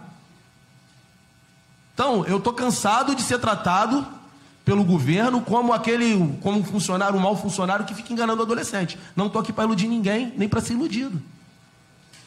Agora, e o que a gente tem que ter consciência é que aqui dentro, dentro, dentro de um prazo razoável, a gente tem que ter política pública sim. Primeiro, para resolver esses problemas de agora, tirar quem não é para estar dentro do sistema e trazer quem legalmente deveria estar, porque é um absurdo você em 2015 fazer um contrato e essa casa fechou os olhos para isso. Vamos fazer uma meia-culpa. Essa casa aqui fechou os olhos para isso. Sabe por quê? Na época, o presidente dessa casa tinha muito interesse de colocar pessoas, como vieram várias pessoas de Maricá, justamente da área do presidente da, da, dessa casa aqui, foram lá trabalhar no Degase. O Albertazzi, que hoje está preso, não sei se está preso ainda, não, mas ficou preso um determinado tempo, colocou, colocou diversas pessoas de volta redonda dentro do sistema. O contrato era para a capital. Vieram pessoas de volta redonda para poder vir, trabalhar na capital. Ficou um, dois meses depois, ó, todo mundo foi lá trabalhar em volta redonda. A gente viu a, a política acontecendo no, no nosso e fechou os olhos. O nosso sindicato não gritou da forma que deveria. Gritou o João, mas a nossa categoria não gritou da forma que deveria gritar. Já era para o Degas ter parado há muito tempo. Eu peço desculpas é, é, pela pela minha sinceridade ou pela minha pela pela violência às vezes das minhas palavras, mas é o meu ponto de vista e acho que aqui é o momento correto para eu poder estar me colocando. Então, eu agradeço a todos e espero que a gente saia daqui hoje fortalecido como categoria, com diversos pontos de vista e que a sociedade civil apoie os agentes, que não, a gente não está aqui para fazer é, demagogia, a gente está aqui para fazer um bom serviço de trazer esse adolescente de volta à realidade, tirar ele desse mundo, mas a gente precisa de estrutura, precisa de salário, precisa de pessoal. A gente não precisa de discurso bonito. A gente não precisa passar a mão na cabeça dele. Achar que ele é pobre coitado porque ele não é. O adolescente que vai para o Degás, ele foi fruto de uma escolha. Ele tem que pagar por aquela escolha. Então o Degás tem que ser uma coisa funcional. É um, um, um debate que eu quero levar para se aprofundar para o Degás Hoje estão querendo universalizar a educação dentro do Dom Bosco. Não é dentro do sistema, não, dentro do Dom Bosco. Porque a juíza simplesmente falou que lá no Dom Bosco ela quer botar todo mundo para estudar primeiro, segundo, terceiro, quarto, quinto turno, sábado, domingo, feriado. Aí sai colocando um monte de gente dentro do Dom Bosco porque acha-se que, acha que o problema do sistema é só efetivo. O problema do, do, do, problema do sistema não é só efetivo, não é só gente. O problema é falta de estrutura, falta de política pública. Porque lá fora existe educação para jovens e adultos à distância e dentro do sistema não existe? Por que, que tem que ser o, o, o, o que política é essa? Você quer ensinar o adolescente ou você quer fazer a coisa da forma que você quer fazer? Por que, que não se tem debate para isso? Colocar o adolescente dentro de uma unidade de internação sem iluminação para estudar de noite, as duras pernas, e você não desenvolve um projeto pedagógico verdadeiro? Não se tem esse tipo de debate dentro do sistema. Todo mundo que vai para dentro do sistema vem, vem dar pitaco e as pessoas de dentro do sistema não são ouvidas. Pessoas que trabalham há 20, há 30 anos, professores que são agentes, agentes que são pedagogos, agentes que são é, advogados, profissionais de outras áreas, poderiam ser muito bem reaproveitados. Chegamos ao absurdo da divisão de capacitação, poder ter uma verba para poder pagar capacitação de defesa pessoal, mas não pode pagar um servidor do órgão, por mais faixa preta, por mais lutador que ele seja. Bruno, São- para concluir, por favor. Então eu agradeço aí e deixo, deixo todas essas, essas indagações aí ao, ao representante do- da Casa Civil. E Peço ajuda ao nobre deputado na nossa luta aí. Obrigado. Deputado, eu só poderia falar. Deixa eu só. é, eu não vou deixar o doutor Guilherme dar essa notícia, não, que eu vou dar aqui de primeira mão, mas está marcado na próxima segunda, 10 horas, com o, o novo secretário da Casa Civil, André Moura, para receber uma comissão formada pelo Degas. Não vou deixar você dar essa notícia, não, doutor Guilherme. Pois é, né, deputado? Não, é porque né, vai parar para ouvir, pelo amor de Deus. Que a gente vai encaminhar pela segunda-feira, 10 horas. Aí eu fiquei sem notícia boa para dar, né? Não, vai dar notícia. É, então eu vou, eu vou retornar a palavra. Quer, quer falar? Eu vou retornar a palavra para o João, só para ele pontuar aqui, que a gente já falou bastante, já desabafamos bastante. E eu vou passar a palavra para o João para ele pontuar né, os temas dessa, dessa audiência pública, para a gente poder ver se a gente consegue alguma resposta agora ou para vocês se prepararem para as boas respostas para a próxima segunda-feira. É, boa tarde, doutor Guilherme. É, sou João, né, presidente do, Sindegase. É, agradecer aí pela presença do senhor, já que é a única pessoa do executivo que se propôs a, a vir aqui à mesa para o debate. É, a gente já fez aqui diversas ilustrações que ao longo do ano a gente vem buscando avanços para a categoria, avanços estes que o próprio governador se comprometeu aí, ainda em época de campanha, né? É, vou tentar ser mais pragmático possível, tá? A gente já vem tratando algumas coisas na Casa Civil, a gente sabe que está no momento de mudança, né? O secretário mudou, era o Zamit, agora é o secretário André Moura, né? A gente vinha também conversando lá com o chefe de gabinete, que era o doutor Cássio, também vinha nos recebendo, né? E a gente tem um problema, tinha um, um- um único item de pauta que a gente conseguiu sanar, foi a nossa nomenclatura, né, que foi aprovada nessa casa, a nomenclatura do agente de segurança socioeducativa, né, proposta No contra-cheque, no inclusive. contra-cheque, né, Dr. que Cássio, né? isso, lei de autoria do- de Vossa Excelência aqui, o presidente, deputado Bruno Dawaire, já estava dois anos promulgada pelo pelo presidente da casa, e isso foi uma luta muito grande, embora uma questão burocrática, meramente burocrática, mas demorou dois anos de luta e a gente conseguiu lá com o doutor Cássio lá e, e todas as intervenções implantar. Isso está, de certa forma, superado, mas ainda precisa ser respeitado pelas outras secretarias de Estado, que às vezes ainda é publicado com a nomenclatura de agente socioeducativo. Doutor Guilherme, não poderíamos fazer uma, não sei se é o ato, uma comunicação às outras secretarias informando da mudança da nomenclatura pela Casa Civil? Porque acho que pelo, pelo, a responsabilidade da Casa Civil foi suprida.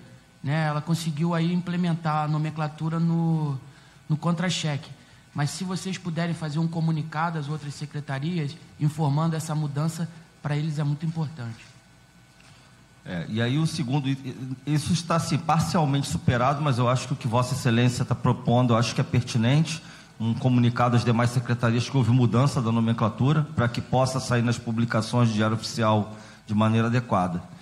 É, o segundo ponto de pauta é o regime adicional de serviço, o RAIS, que é feito pelas diversas entidades né, e forças de segurança, e assim foi com- combinado com o governador, à época, no segundo turno ainda, ele concordou em, em dar essa, essa pauta para o Degase, é, por se tratar é, de questão que a gente, na verdade, não tem qualquer diferença com o próprio sistema penal, né? Nós lidamos com internos até 21 anos de idade, né? De, que cometem crimes é, que na verdade a única diferença é, é- é a terminologia da lei, né? Porque o ECA não trata como crime, trata como fato análogo a crime, mas no mundo real não existe qualquer diferença com o que se passa no sistema penal. Então, é, o RAIS seria a necessidade de quê? De cobrir a- a- a- a grande, o grande déficit de servidores que a gente tem no órgão, né? No caso, os agentes, né? Porque o RAIS é somente para agentes de segurança. Então, isso foi aprovado aqui também por uma proposição também do deputado Bruno Dawaire, foi sancionado pelo governador, mas até agora não foi regulamentado. A gente precisa de uma regulamentação, de um decreto de regulamentação do, do- do governador do Estado. E em que pé está isso? Isso já rodou, já saiu do Degas, já foi para a SEDUC, já foi para a PGE. A PGE questiona de que forma a gente vai compensar financeiramente para não ferir o regime de recuperação fiscal, porque você não pode ter aumento de despesa de pessoal. E a gente teve agora uma decisão judicial que tira 200 contratos temporários, que já era um pleito antigo da categoria, que na verdade atrapalhou até o concurso. Esse, isso já foi aqui colocado pelo colega Fábio, que é do cadastro de reserva. Quer dizer, é, em vez de ter colocado o concurso para dentro, entrou um processo seletivo. Ou seja, isso era para a gente ter saído em dezembro, acabou esse contrato em dezembro. Só que é, veio uma decisão judicial protelando isso, agora julgou o mérito e mandou tirar. Então, isso está superado, entre aspas, porque parece que dos 204 contratados, 50 ainda estão no sistema, mas hoje a gente não tem aqui o representante do Degase para dizer por quê. Me parece que existe uma liminar na, na comarca de Niterói que está sustentando eles por lá. Enfim, 154 saíram, isso é fato. Tem uma, a gente tem uma. Está é, é, tá ocioso agora a verba que pagava-se o, o contrato, que poderia ser alegado, inclusive, que seria a compensação que poderia se usar para o regime adicional de serviço. Essa é uma questão. Então, assim, a gente é, sabe que dessa forma não ia ferir o regime de recuperação fiscal. Mas, mas como isso está na COAF, está parado no Degase, há um mês né, no Degase, esse processo, a gente não sabe o que, que eles vão responder para a PGE. De que forma vai se compensar o RAIS para não haver impacto na folha de pessoal. Né? Então a gente precisa é, tem uma, uma outra lei que, que foi a, que a gente conseguiu uma emenda aqui na casa, foi discutido aqui na casa, que é o FISED, é o Fundo de Segurança Pública. Né? A gente conseguiu incluir o DEGAS nisso também, foi uma luta aqui dessa casa para incluir o, o, o FISED, né? ou seja, dessa verba do Fundo de Segurança Pública, 30% dela pode ser empregada em, em pagamento de hora extra, né? É, é, e assim é feito na PM, na Polícia Civil, na SEAP, é usado o Fundo de Segurança Pública para pagar o RAIS. E no Degase, simplesmente o Degase, o Degase já recebeu a primeira é, é, fatia né, dessa divisão, que deu 18 milhões de reais do fundo. Agora, nessa primeira divisão, após a, a aprovação da lei e o governador ter sancionado. Porém, o Degase diz que não pode usar a verba, porque se usar a verba vai ter aumento de impacto na folha. Ou seja, a gente procurou compensar, colocar verba dentro do Degase para poder, pensando no pagamento do RAIS, só que na hora de argumentar isso, eles dizem que vai gerar aumento na folha, mas nós não compensamos, nós não colocamos uma verba que anteriormente não existia dentro do órgão.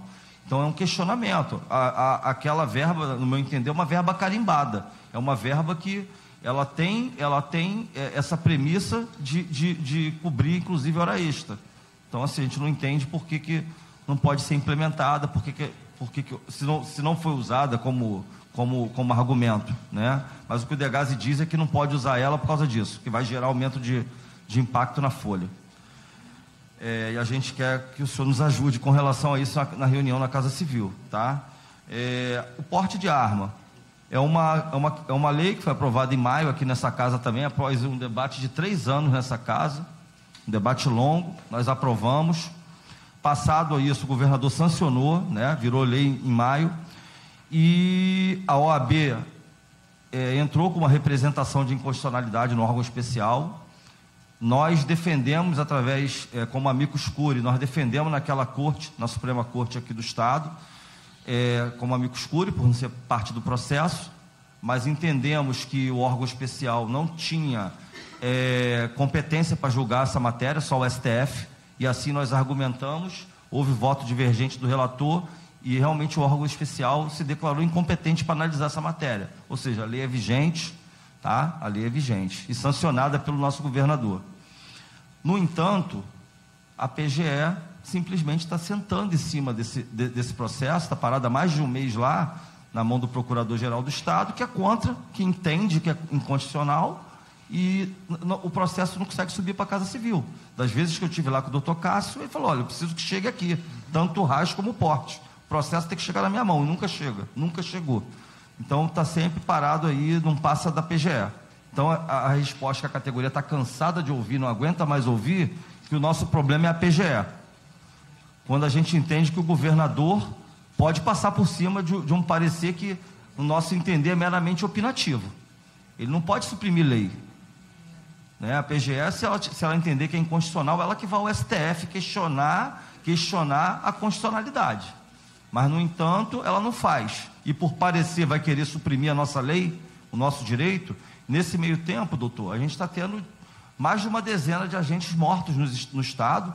Na terra de Vossa Excelência, deputado Bruno, no final do ano passado, nós tivemos um agente morto lá em Guarus, na frente, dentro do carro, na frente da família. Essa semana nós tivemos uma, um interno. Lá também, né? Parece. Lá em, em também. É. Agora em Guarus de novo. Parece um interno que... achou a casa do coordenador da unidade, do coordenador geral da unidade, do CRIAD, do, da unidade semiaberta, e foi lá e tentou matá-lo. Ele correu para dentro de casa, ele tem um comércio. Ele botou a arma na cabeça da esposa, ia assassinar a esposa, mas viu que ia dar problema, pegou o celular dela, subiu na bicicleta e foi preso em flagrante. Ou seja, foi lá na casa desse agente, desse servidor, para executá-lo. Por quê? Porque ele é um agente do Degase. Porque ele não está acostumado na favela dele a ter limite. Lá ele bota uma pistola na cintura, um cordão de ouro, mulher e acabou. Aqui eu mando. Poder paralelo. Só que no Degase, o Degase é o Estado. E lá ele vai ter que dizer sim, sim senhor, não senhor, aqui você tem hora, vai, vai para a escola, vai para o curso. Então o agente é a figura do Estado. E essa figura do Estado está sendo perseguida e assassinada, executada. O governador sabe disso. Só que a gente está preso a questões burocráticas. E eu acho que a vida, a vida é muito maior do que tudo isso. Uma vida que a gente já poderia ter perdido semana passada. A gente já perdeu o final do ano outra. Nos anos anteriores, cerca de 10 agentes pelo menos foram assassinados. E aí a PGE vai ser ela que vai barrar a nossa lei? Então, doutor, assim, a gente está passando por muitas dificuldades. A questão de concurso público também, a gente tem aqui o cadastro de reserva. O Degase não reconhece o cadastro, diz que a PGE também fala que, que a lei de sobrestamento que essa casa aqui votou não, não serve. Não esquece da progressão também, não. É, vou falar da progressão. Então, é, o Degase hoje diz que está tratando com o Ministério Público um TAC para poder criar 620 novas vagas de um concurso. Então, assim, a gente realmente não entende, porque não, não bota o cadastro de reserva para dentro. Tudo bem, quer fazer o concurso mais a, é, a, médio prazo? A gente faz um concurso a médio prazo, porque não falta é, é necessidade de servidores. Não falta necessidade. Se ele botar 100 servidores, 200 do cadastro hoje, eu vou continuar com um buraco enorme. Então a gente precisa sim de um novo concurso, de pensar no novo concurso. Só que quem já tem o direito hoje está aqui sentado na mesa. E foi prejudicado pelo contrato temporário e está aqui na mesa aguardando até hoje essa. essa... E é mais barato, né? É, pois é. Então, assim, não precisaria nem fazer um outro concurso, seria mais, mais célere, né, inclusive. E a última questão que a gente vinha tratando com o doutor Cássio são as progressões. Né? A gente conseguiu no primeiro semestre publicar uma quantidade, cerca de 200 progressões, e já estamos com mais de 100 acumuladas no segundo semestre. Isso foi encaminhado para a Casa Civil, ele disse que publicaria que estaria dando andamento na publicação, no entanto, a coisa não avançou. Então a gente está há cinco anos sem reposição de inflação, a categoria só tem a progressão funcional para poder respirar, e infelizmente, diga-se de passagem, é verba de caráter alimentar, é ilegal reter a progressão do servidor, é ilegal. Tá? A gente já ganhou isso na justiça outra vez. Talvez se eu não tiver uma resposta contento na segunda-feira, eu tenho que procurar a justiça novamente. E isso eu entendo que é pauta negativa para o governo. Porque toda vez que eu vou à justiça dizer que o governo está sendo ilegal, arbitrário, e eu boto na mídia que eu tive que conquistar o meu direito na justiça, é pauta negativa para o governo. Um governo que se foi eleito se pautando com a bandeira do servidor. Porque eu pertenço ao movimento é, unificado de servidores públicos e o, o candidato à época procurou o movimento para falar que defenderia a bandeira do servidor público. Mas não é isso que a gente está vendo na prática. A gente oficiou desde o primeiro dia útil de governo, a gente não foi recebido pelo governador até hoje. Na Casa Civil, infelizmente, a gente só ouve que a PGE é o problema, que não, o problema não chega, o, os processos não chegam na Casa Civil. Agora, a progressão, por que, que não publicou? Dependia só da Casa Civil, não publicou. Então, a, doutor, eu sei que vocês estão chegando agora, o secretário André Moura está chegando agora, mas no auge da experiência dele como líder do Congresso, eu o conheci em Brasília, lá na, na ocasião do, do, da votação do Sistema Único de Segurança Pública. A gente espera que o deputado André Moura, com sua expertise política, possa resolver, porque os tecnocratas, infelizmente, só estão travando a nossa vida. Obrigado.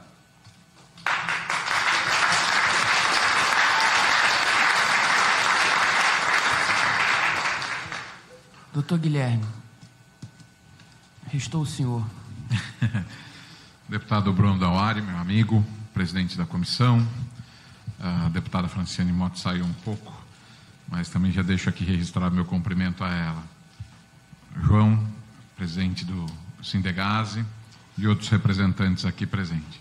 Primeiro, me desculpe pela demora, eu fui avisado de última hora da, da audiência. É, o assunto ele não, tá, ele não pertence à minha pauta, mas eu fiz questão de vir, até pela amizade com, com o deputado que eu tenho. Né, a hora que eu fui informado, eu já me prontifiquei a vir. É, acompanhei de longe, até porque eu estou na Casa Civil tem 15 dias, antes eu era assessor parlamentar da Fazenda, e algumas coisas eu acompanhei de lá, algumas situações de vocês. Primeiramente, o que a gente tem que falar é para confirmar a reunião que o secretário André Moura vai estar recebendo no, no, para uma audiência na segunda-feira às 10 horas. O deputado já deu essa notícia e o Cássio, que é nosso chefe de gabinete, me confirmou pelo, pelo celular no mesmo instante, né? E eu vou pautar algumas coisas de informações que eu já tenho, né? Mas, em primeiro momento, gostaria de fazer uma defesa, e até para a gente entrar numa agenda positiva, que apesar do governador não ter recebido, o governador tem encaminhado leis que dizem respeito à causa que vocês vêm reivindicando. Então, o governador está sempre sensível à questão do degase e tem acompanhado isso e tentado cada vez mais resolver os problemas. Um governo é sempre difícil. Eu escutei o desculpa, me fugiu o seu nome, o Bruno, falar que o sucateamento já acontece há 20 anos. Nós ainda vamos completar 10 meses de governo. Eu sei que isso não é desculpa, mas a gente sempre tem que ver essa questão do tempo. Nesse tempo, o governador, partindo dele, ouvindo vocês, encaminhou para essa casa e sancionou, depois que passou a votação com o apoio dessa casa, a lei para o porte de armas. E foi o governador, então, cumprindo uma das suas uh, promessas de campanha. A Casa Civil uh, tem recebido, através do chefe de gabinete e também através do, seu, do Dr. Laci, quando recebeu o corte dos 204, eu passei por essa reunião. Uh, eu não lembro se alguém estava daqui estava nessa reunião com, com o Dr. Laci Camargo, que aconteceu na semana passada. Eu estava chegando na Casa Civil. Né? É, então, nós temos recebido para tentar resolver os problemas. A questão da nomenclatura do cheque, do contra-cheque, o Cássio me falou que isso foi resolvido, mas parece que teve uma falha de comunicação e algumas secretarias ainda não fizeram. Com certeza isso vai ser consertado. É, a questão da, da. Me desculpe eu pegar o nome certinho. Da progressão, nós só estamos aguardando uma autorização da Cefaz por conta do financeiro e impacto orçamentário, que a gente precisa apresentar isso daí. Tendo isso, também a questão da progressão vai se tornar possível. Ou seja, todos os pedidos que a gente tem recebido, nós temos caminhado para que eles se realizem. Eu acredito que pontuar na. Eu já vou levar para essa audiência, né? antes da audiência, eu já vou estar levando todos esses pontos para o doutor André. Ele vai estar chegando pautado para essa reunião de vocês porque dessa forma ele vai poder dar muito mais respostas e vai poder muito mais cobrar os órgãos antes, inclusive, da reunião com vocês. Então, é, a questão do FISET, também reconheço que, que você tem, tem razão.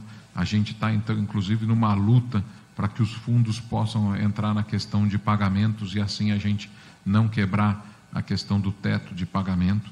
É uma posição do governo em todas as classes e categorias. Né? Ah, enfim, o meu compromisso hoje com vocês, que eu já posso estar assumindo, é levar e pautar o doutor André, o nosso secretário da Casa Civil, com todos esses pontos que vocês estão trazendo, que vocês me desculpem, mas é, eu, é, é uma novidade, porque eu estou chegando também agora junto com ele, né? mas eu sei eu, que ele é sensível a essa questão, bem como o governador, então vocês vão chegar para uma reunião onde o secretário vai estar pautado.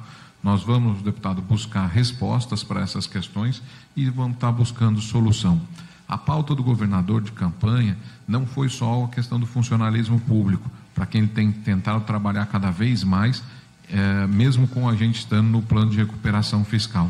O governador é sempre sensível a essa causa, como também a da segurança. Né? A gente sabe dessas situações, sabe que uma questão burocrática às vezes está e a gente está perdendo vidas, né? Mas queria que vocês tivessem aí um pouco de paciência, né? Eu sei que é difícil pedir isso para quem vem sofrendo 20 anos numa questão, mas a gente está mudando esse jogo, está colocando na positividade e nós vamos resolver essas questões aí que vocês estão, pedindo. O governador, como eu disse, é, e aí entra essa questão, não está nem há 10 meses no cargo. E eu acredito que a gente tem resolvido muitas coisas que eram pleito de vocês há, há muito tempo. E talvez paciência é, seja a palavra errada nesse momento. Eu acho que é, a gente tem que ter um pouco mais assim é, de fé e acreditar mesmo que o governador ele está pronto para mudar todas essas questões e fazer tudo o que é possível. Então, na segunda-feira, nós vamos nos reunir, nós vamos fazer uma pauta positiva e, com certeza, nós vamos buscar bons resultados. E eu acho que é o principal: um cronograma de resultado para vocês, de quando vai ser possível a gente resolver os problemas. Eu acredito, ocupando um cargo que, de certa forma, é político, que não adianta só eu chegar e falar que eu vou resolver a questão ou que é impossível resolver.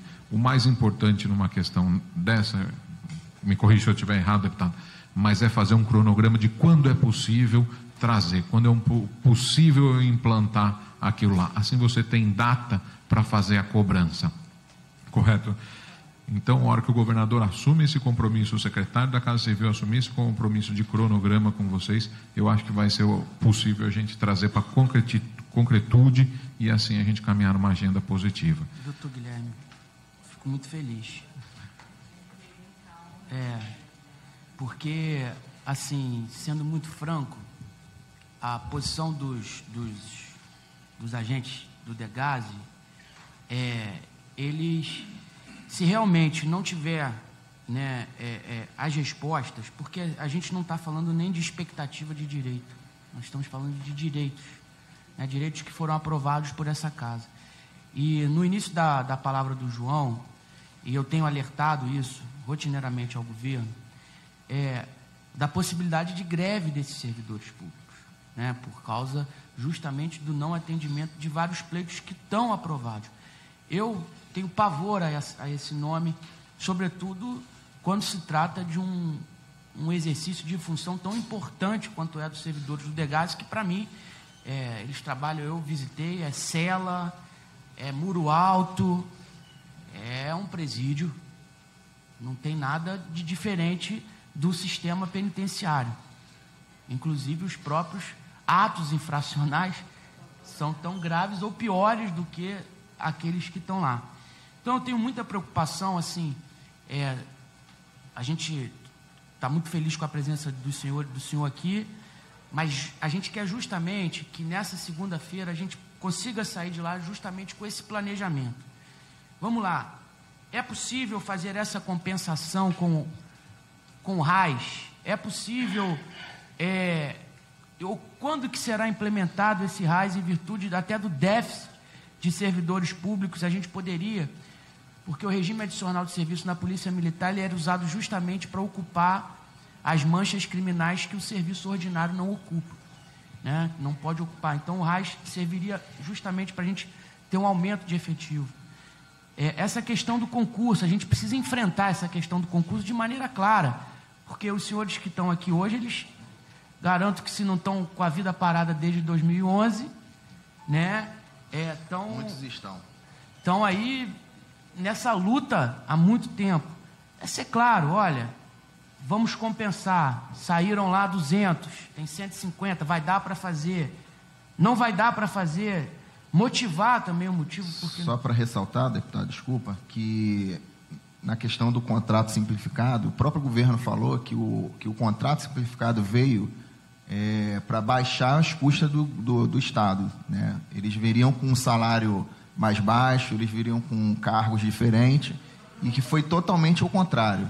Eles têm os mesmos cargos que o concurso foi, que, do, do, dos concursados, e têm os mesmos salários que saiu no edital do nosso concurso. Entendeu? Então não teve mudança nenhuma de, de nessa, nessa questão orçamentária para o Estado. Então, eles ficaram quatro anos lá recebendo a mesma coisa que um concursado foi ficaria. Em que, que ano que foi? Esse? 2015. 2015 esse, o nosso concurso 2011, entendeu? Está dentro da validade. Esse concurso foi feito simplificado em 2015. que é onde travou todo esse sistema aí da nossa convocação, de que estava sendo feito por salas, entendeu? Inclusive, na época, no ano, estava sendo convocada a sexta turma, que iria finalizar na sétima turma nossa, entendeu? Então, como o Estado fez esse concurso simplificado, tra travancou tudo, entendeu? O deputado Flávio Serafini conseguiu, é, junto com os deputados, fazer a, a, a convocação da sexta turma, e a gente vem nessa briga aí para finalizar esse concurso com a sétima turma. São 85 homens e 63 mulheres. Sim, essa é da parte dos agentes, né, femininos e masculinos. Mas tem os tem outros, outros cargos, cargos técnicos e, é, é, enfim, outros que dá. É, oi? Sim, é. É, isso, tem o que, quadro de, de apoio, é. Que dentro desse quadro são seis, aqui nessa na, na, minha planilha aqui são 668 no cadastro de reserva. No cadastro né? de reserva. 600 Com certeza, 668. Com certeza dentro dessa listagem aqui, alguns já fizeram um novo concurso, já foram para outra outros é. cargos, entendeu? Então, essa lista diminuiu. Isso quer dizer o quê? Que se hoje a vacância do, do, do, do Degase está dentro disso aí, que eles estão pleiteando um concurso de 600 e poucas vagas, entendeu? O cadastro de reserva tem menos.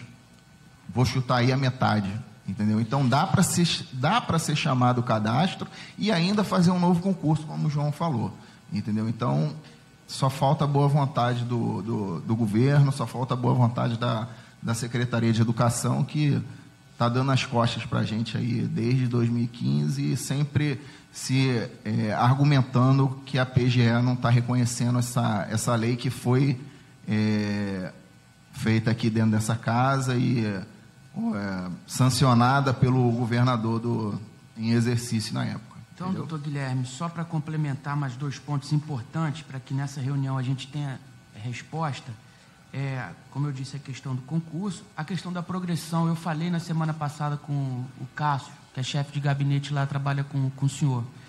Ele me disse que estava tocando a coisa, mas a gente quer, é, por favor, até segunda-feira, se puder dar uma adiantada nos processos que estão lá, ver que pé está, porque a gente precisa dar uma resposta a eles. E a questão do porte de arma, eu vou fazer aqui uma, uma vou falar até uma questão muito pessoal. Eu apresentei ao governador é, a questão do porte. Que foi me pedido, Guilherme, foi para que a gente fizesse a quatro mãos um, a regulamentação e apresentasse uma minuta para que a partir daquela minuta a secretaria, a Casa Civil, os órgãos responsáveis pudessem elaborar a regulamentação de acordo com eles.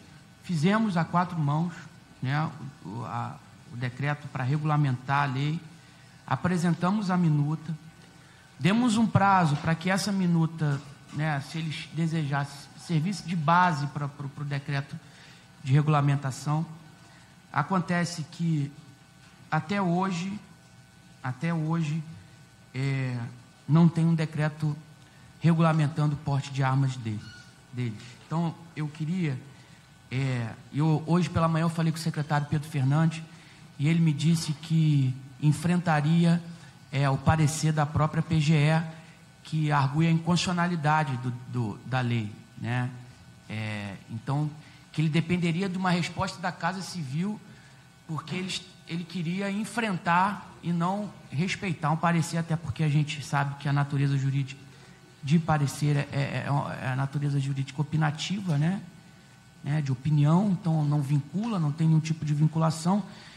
E ele me disse que dependia agora da Casa Civil de uma resposta para que essa regulamentação saísse. Então, eu só pontuando assim, para que a gente chegue na segunda-feira, eu sei da necessidade, da iminência do estado de greve que os senhores é, é, é, é, estão tendo que enfrentar na base. Eu sei que não é um desejo do próprio sindicato, mas vocês repercutem né, e, e, e formam o eco da voz da base dos senhores. Então a gente é, compreende. Então, para que segunda-feira a gente tenha essas respostas, para que segunda-feira essa categoria possa avançar no seu dia a dia os avanços que nós tivemos aqui na Assembleia.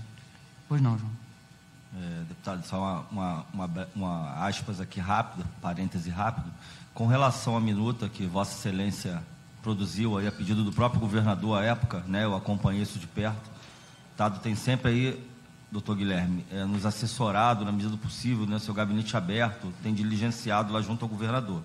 O que, que acontece? O doutor Cássio, à época, disse, né, nós tivemos lá para apresentar essa minuta ao doutor Cássio, ele falou que não podia recepcionar essa minuta, porque isso tinha que vir de um processo que nascesse lá da Secretaria de Educação, enfim. É, só que o pro, problema é aquilo que eu falei: esse processo não, nunca chega à Casa Civil. Ele parou na PGE e está lá, do porte de arma. E eu nem sei, sinceramente, deputado Bruno, se a minuta está lá. Se essa minuta está no processo. Eu, eu tenho a impressão que não, tá? Eu tenho a impressão que deve ter saído uma Essa minuta. do porte de armas, né? É, é, foi uma, mi- um- é uma minuta que foi produzida pelo deputado Bruno a pedido do próprio governador. Tá? Eu acompanhei esse processo, eu estive na Casa Civil, só que o doutor Cássio informou que não poderia recepcionar essa minuta sem um processo. Como se ele falasse, olha, essa minuta não pode cair de paraquedas aqui, ela tem que ter nascido em algum lugar e teria que nascer na Secretaria de Educação. Tudo bem, concordamos e tentamos diligenciar dessa forma. Só que até hoje nós não tivemos resposta de nada. Isso está parado na Procuradoria, né? E a gente não sabe o que está lá, qual é o conteúdo dessa regulamentação, né? Enfim, então. Na verdade, a gente nem- precisa enfrentar o parecer da PGE, né, destrancar essa, essa pauta, porque é, é lei, né? Como o próprio FISED, por que, que é, é, não- também não tem lógica quanto ao RAIS também? É você ter uma, uma verba carimbada de fundo e, e- e- e se alegar que não se pode usá-la. Né? Então, assim, são questões que eu acho que falta um posicionamento político mesmo é, da Casa Civil, é, do governador e a gente enfrentar.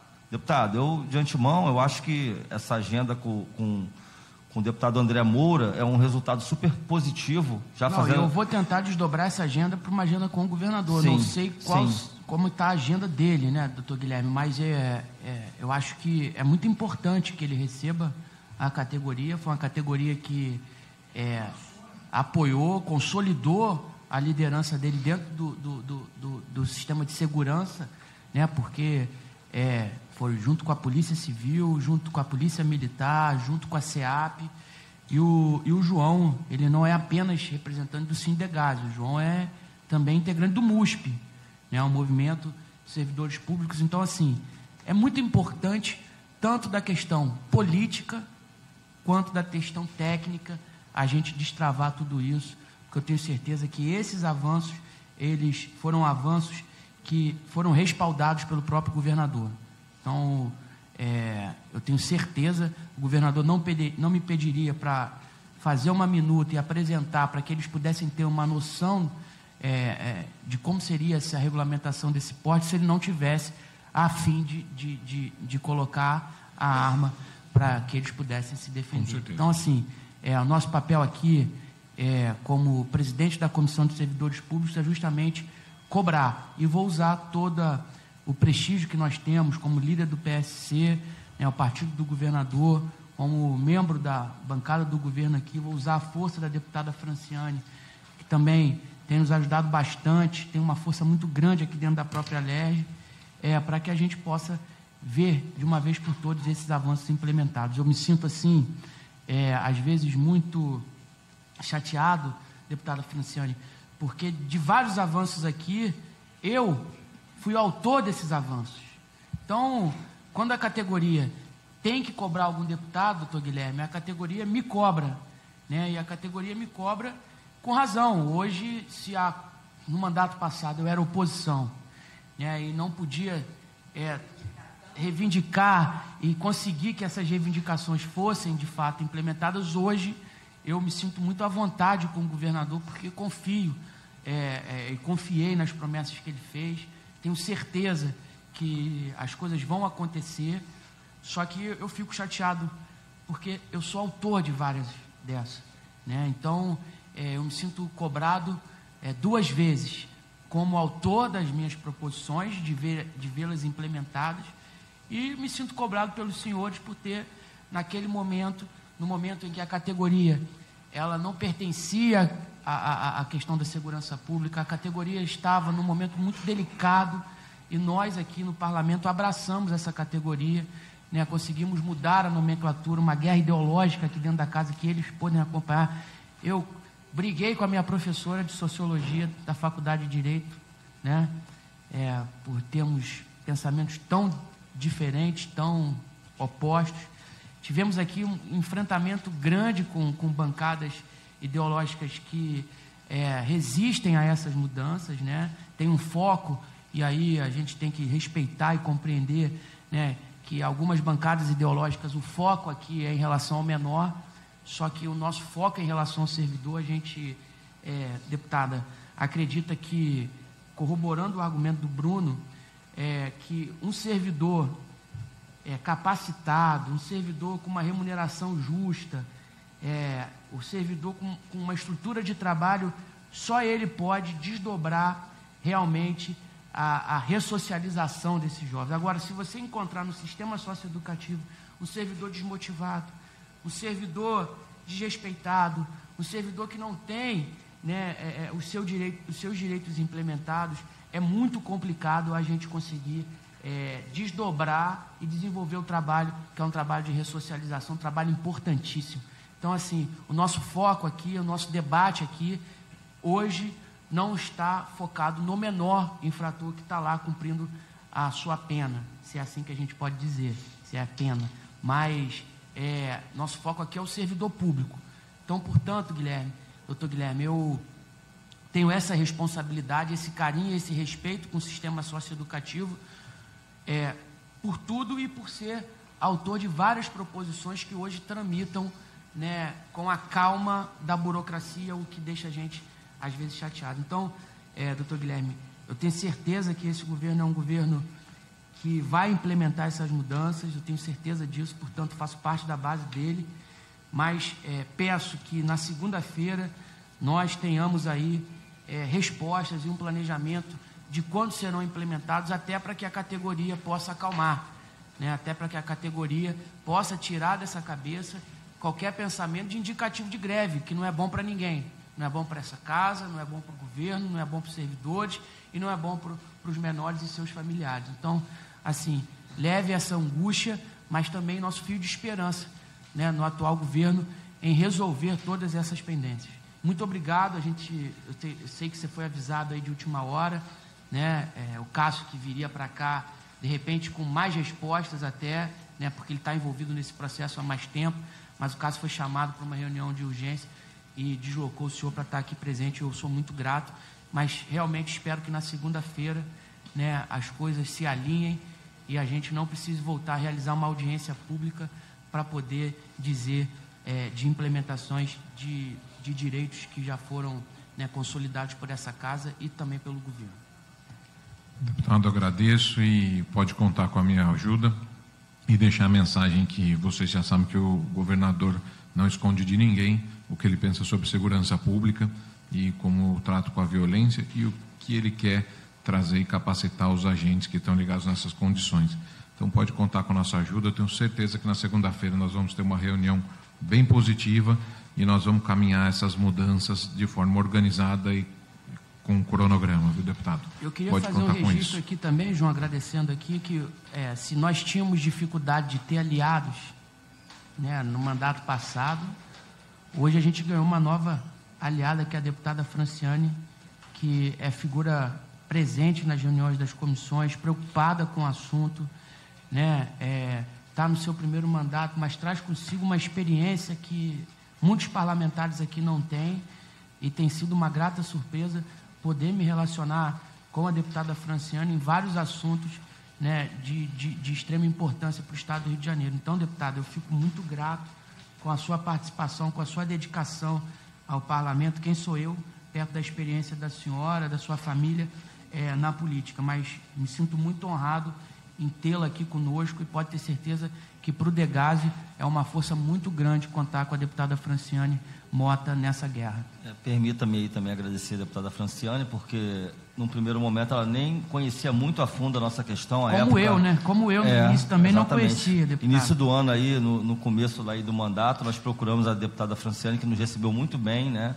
Seu gabinete, levamos um dossiê mostrando os assassinatos aí dos agentes, né? todas as agressões que sofre dentro das unidades, ameaças de morte. A deputada Franciane se solidarizou, abraçou a causa, nos ajudou muito no plenário ali, nessa luta, como essa casa se solidarizou na sua grande maioria. Nós tivemos uma votação muito expressiva de mais de dois terços da casa. Né? Então, agradecer também, deputado, a sua dedicação de sempre também aí pela, pela categoria. Né? Agradecer a presença também do doutor Guilherme, é, por encaminhar essa agenda, né, junto com o secretário André Moura. Eu tenho alguns números de processos que eu gostaria de, ao término aqui, passar para o senhor, os processos do RAIS, do, do porte, onde estão, para o senhor já buscar é, um posicionamento sobre esses processos, para na segunda a gente construir uma agenda positiva, com prazos, com cronograma, porque até agora foi isso que faltou. Realmente a gente nunca ouviu, isso vai acontecer em tal data, isso em tal data, em tal data. A gente não teve isso até o momento. Então, eu queria agradecer ao senhor.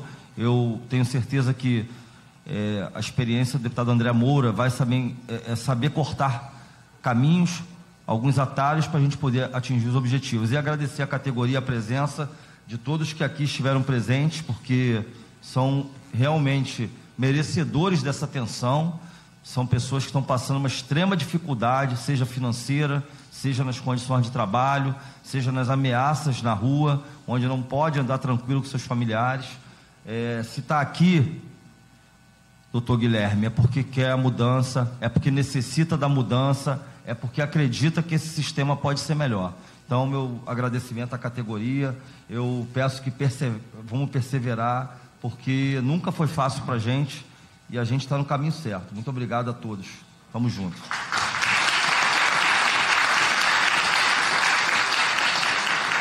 Deputada Franciane Mota, obrigado. Suas considerações finais aí. A gente espera que segunda-feira a gente resolva tudo isso, né? Boa tarde. É... Bruno, você até me emociona. Eu não sou muito de falar, mas realmente o João, quando me procurou no gabinete, eu fiquei. Isso tudo, é... muitas das coisas são novidades realmente para mim e fiquei realmente muito preocupada, né? São muitas, são, são muitas informações e muitos acontecimentos e que a gente tem que se unir muito para poder resolver. Eu sei que a demanda de vocês é enorme, até pelo tempo que isso vem acontecendo, mas nunca é tarde para a gente começar, né, ter os avanços é, e nos unindo, né, nos unindo a gente pode chegar, alcançar o objetivo de vocês, a demanda de vocês. E o Guilherme chegou aqui num momento muito bom, quando o Bruno estava bem acalorado né, Pela, pelas demandas. E, e, eu acho que até fugiu um pouco ao foco principal aqui, mas aos poucos, Bruno, a gente vai avançando. Mas foi muito boa a sua fala, Guilherme, que deu uma, uma tranquilizada, né? apesar da demanda realmente ser antiga, mas o novo governador realmente só tem dez meses né? de, de governo, apesar de ter sentado com eles desde o início, de repente esse, essa falta de comunicação que gerou toda essa essa ansiedade, mas eu acho, acredito que a partir da segunda-feira vou tentar estar presente também para ser mais uma voz é, junto a vocês, para a gente estar reivindicando as melhorias aí para todos da categoria e que vocês continuem tendo muita paciência e sabedoria lá no trabalho de vocês. E, infelizmente, os menores né, de antigamente não são mais os menores que estão lá. Então a gente tem que ter realmente um olhar muito, muito diferenciado para essa para esse trabalho de vocês. Boa tarde, obrigada a todos. Muito obrigado.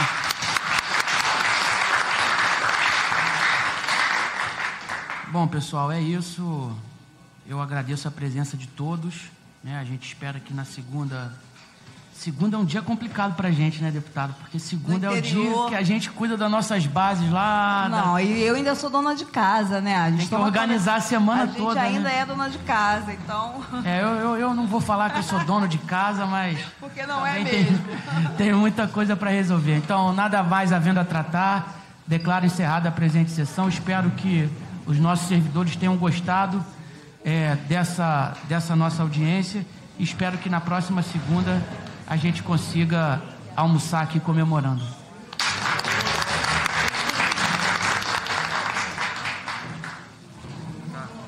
Tá. tá. Eu tô indo para lá. Ah, mas qualquer coisa eu te mando um WhatsApp dizendo aonde eu tô.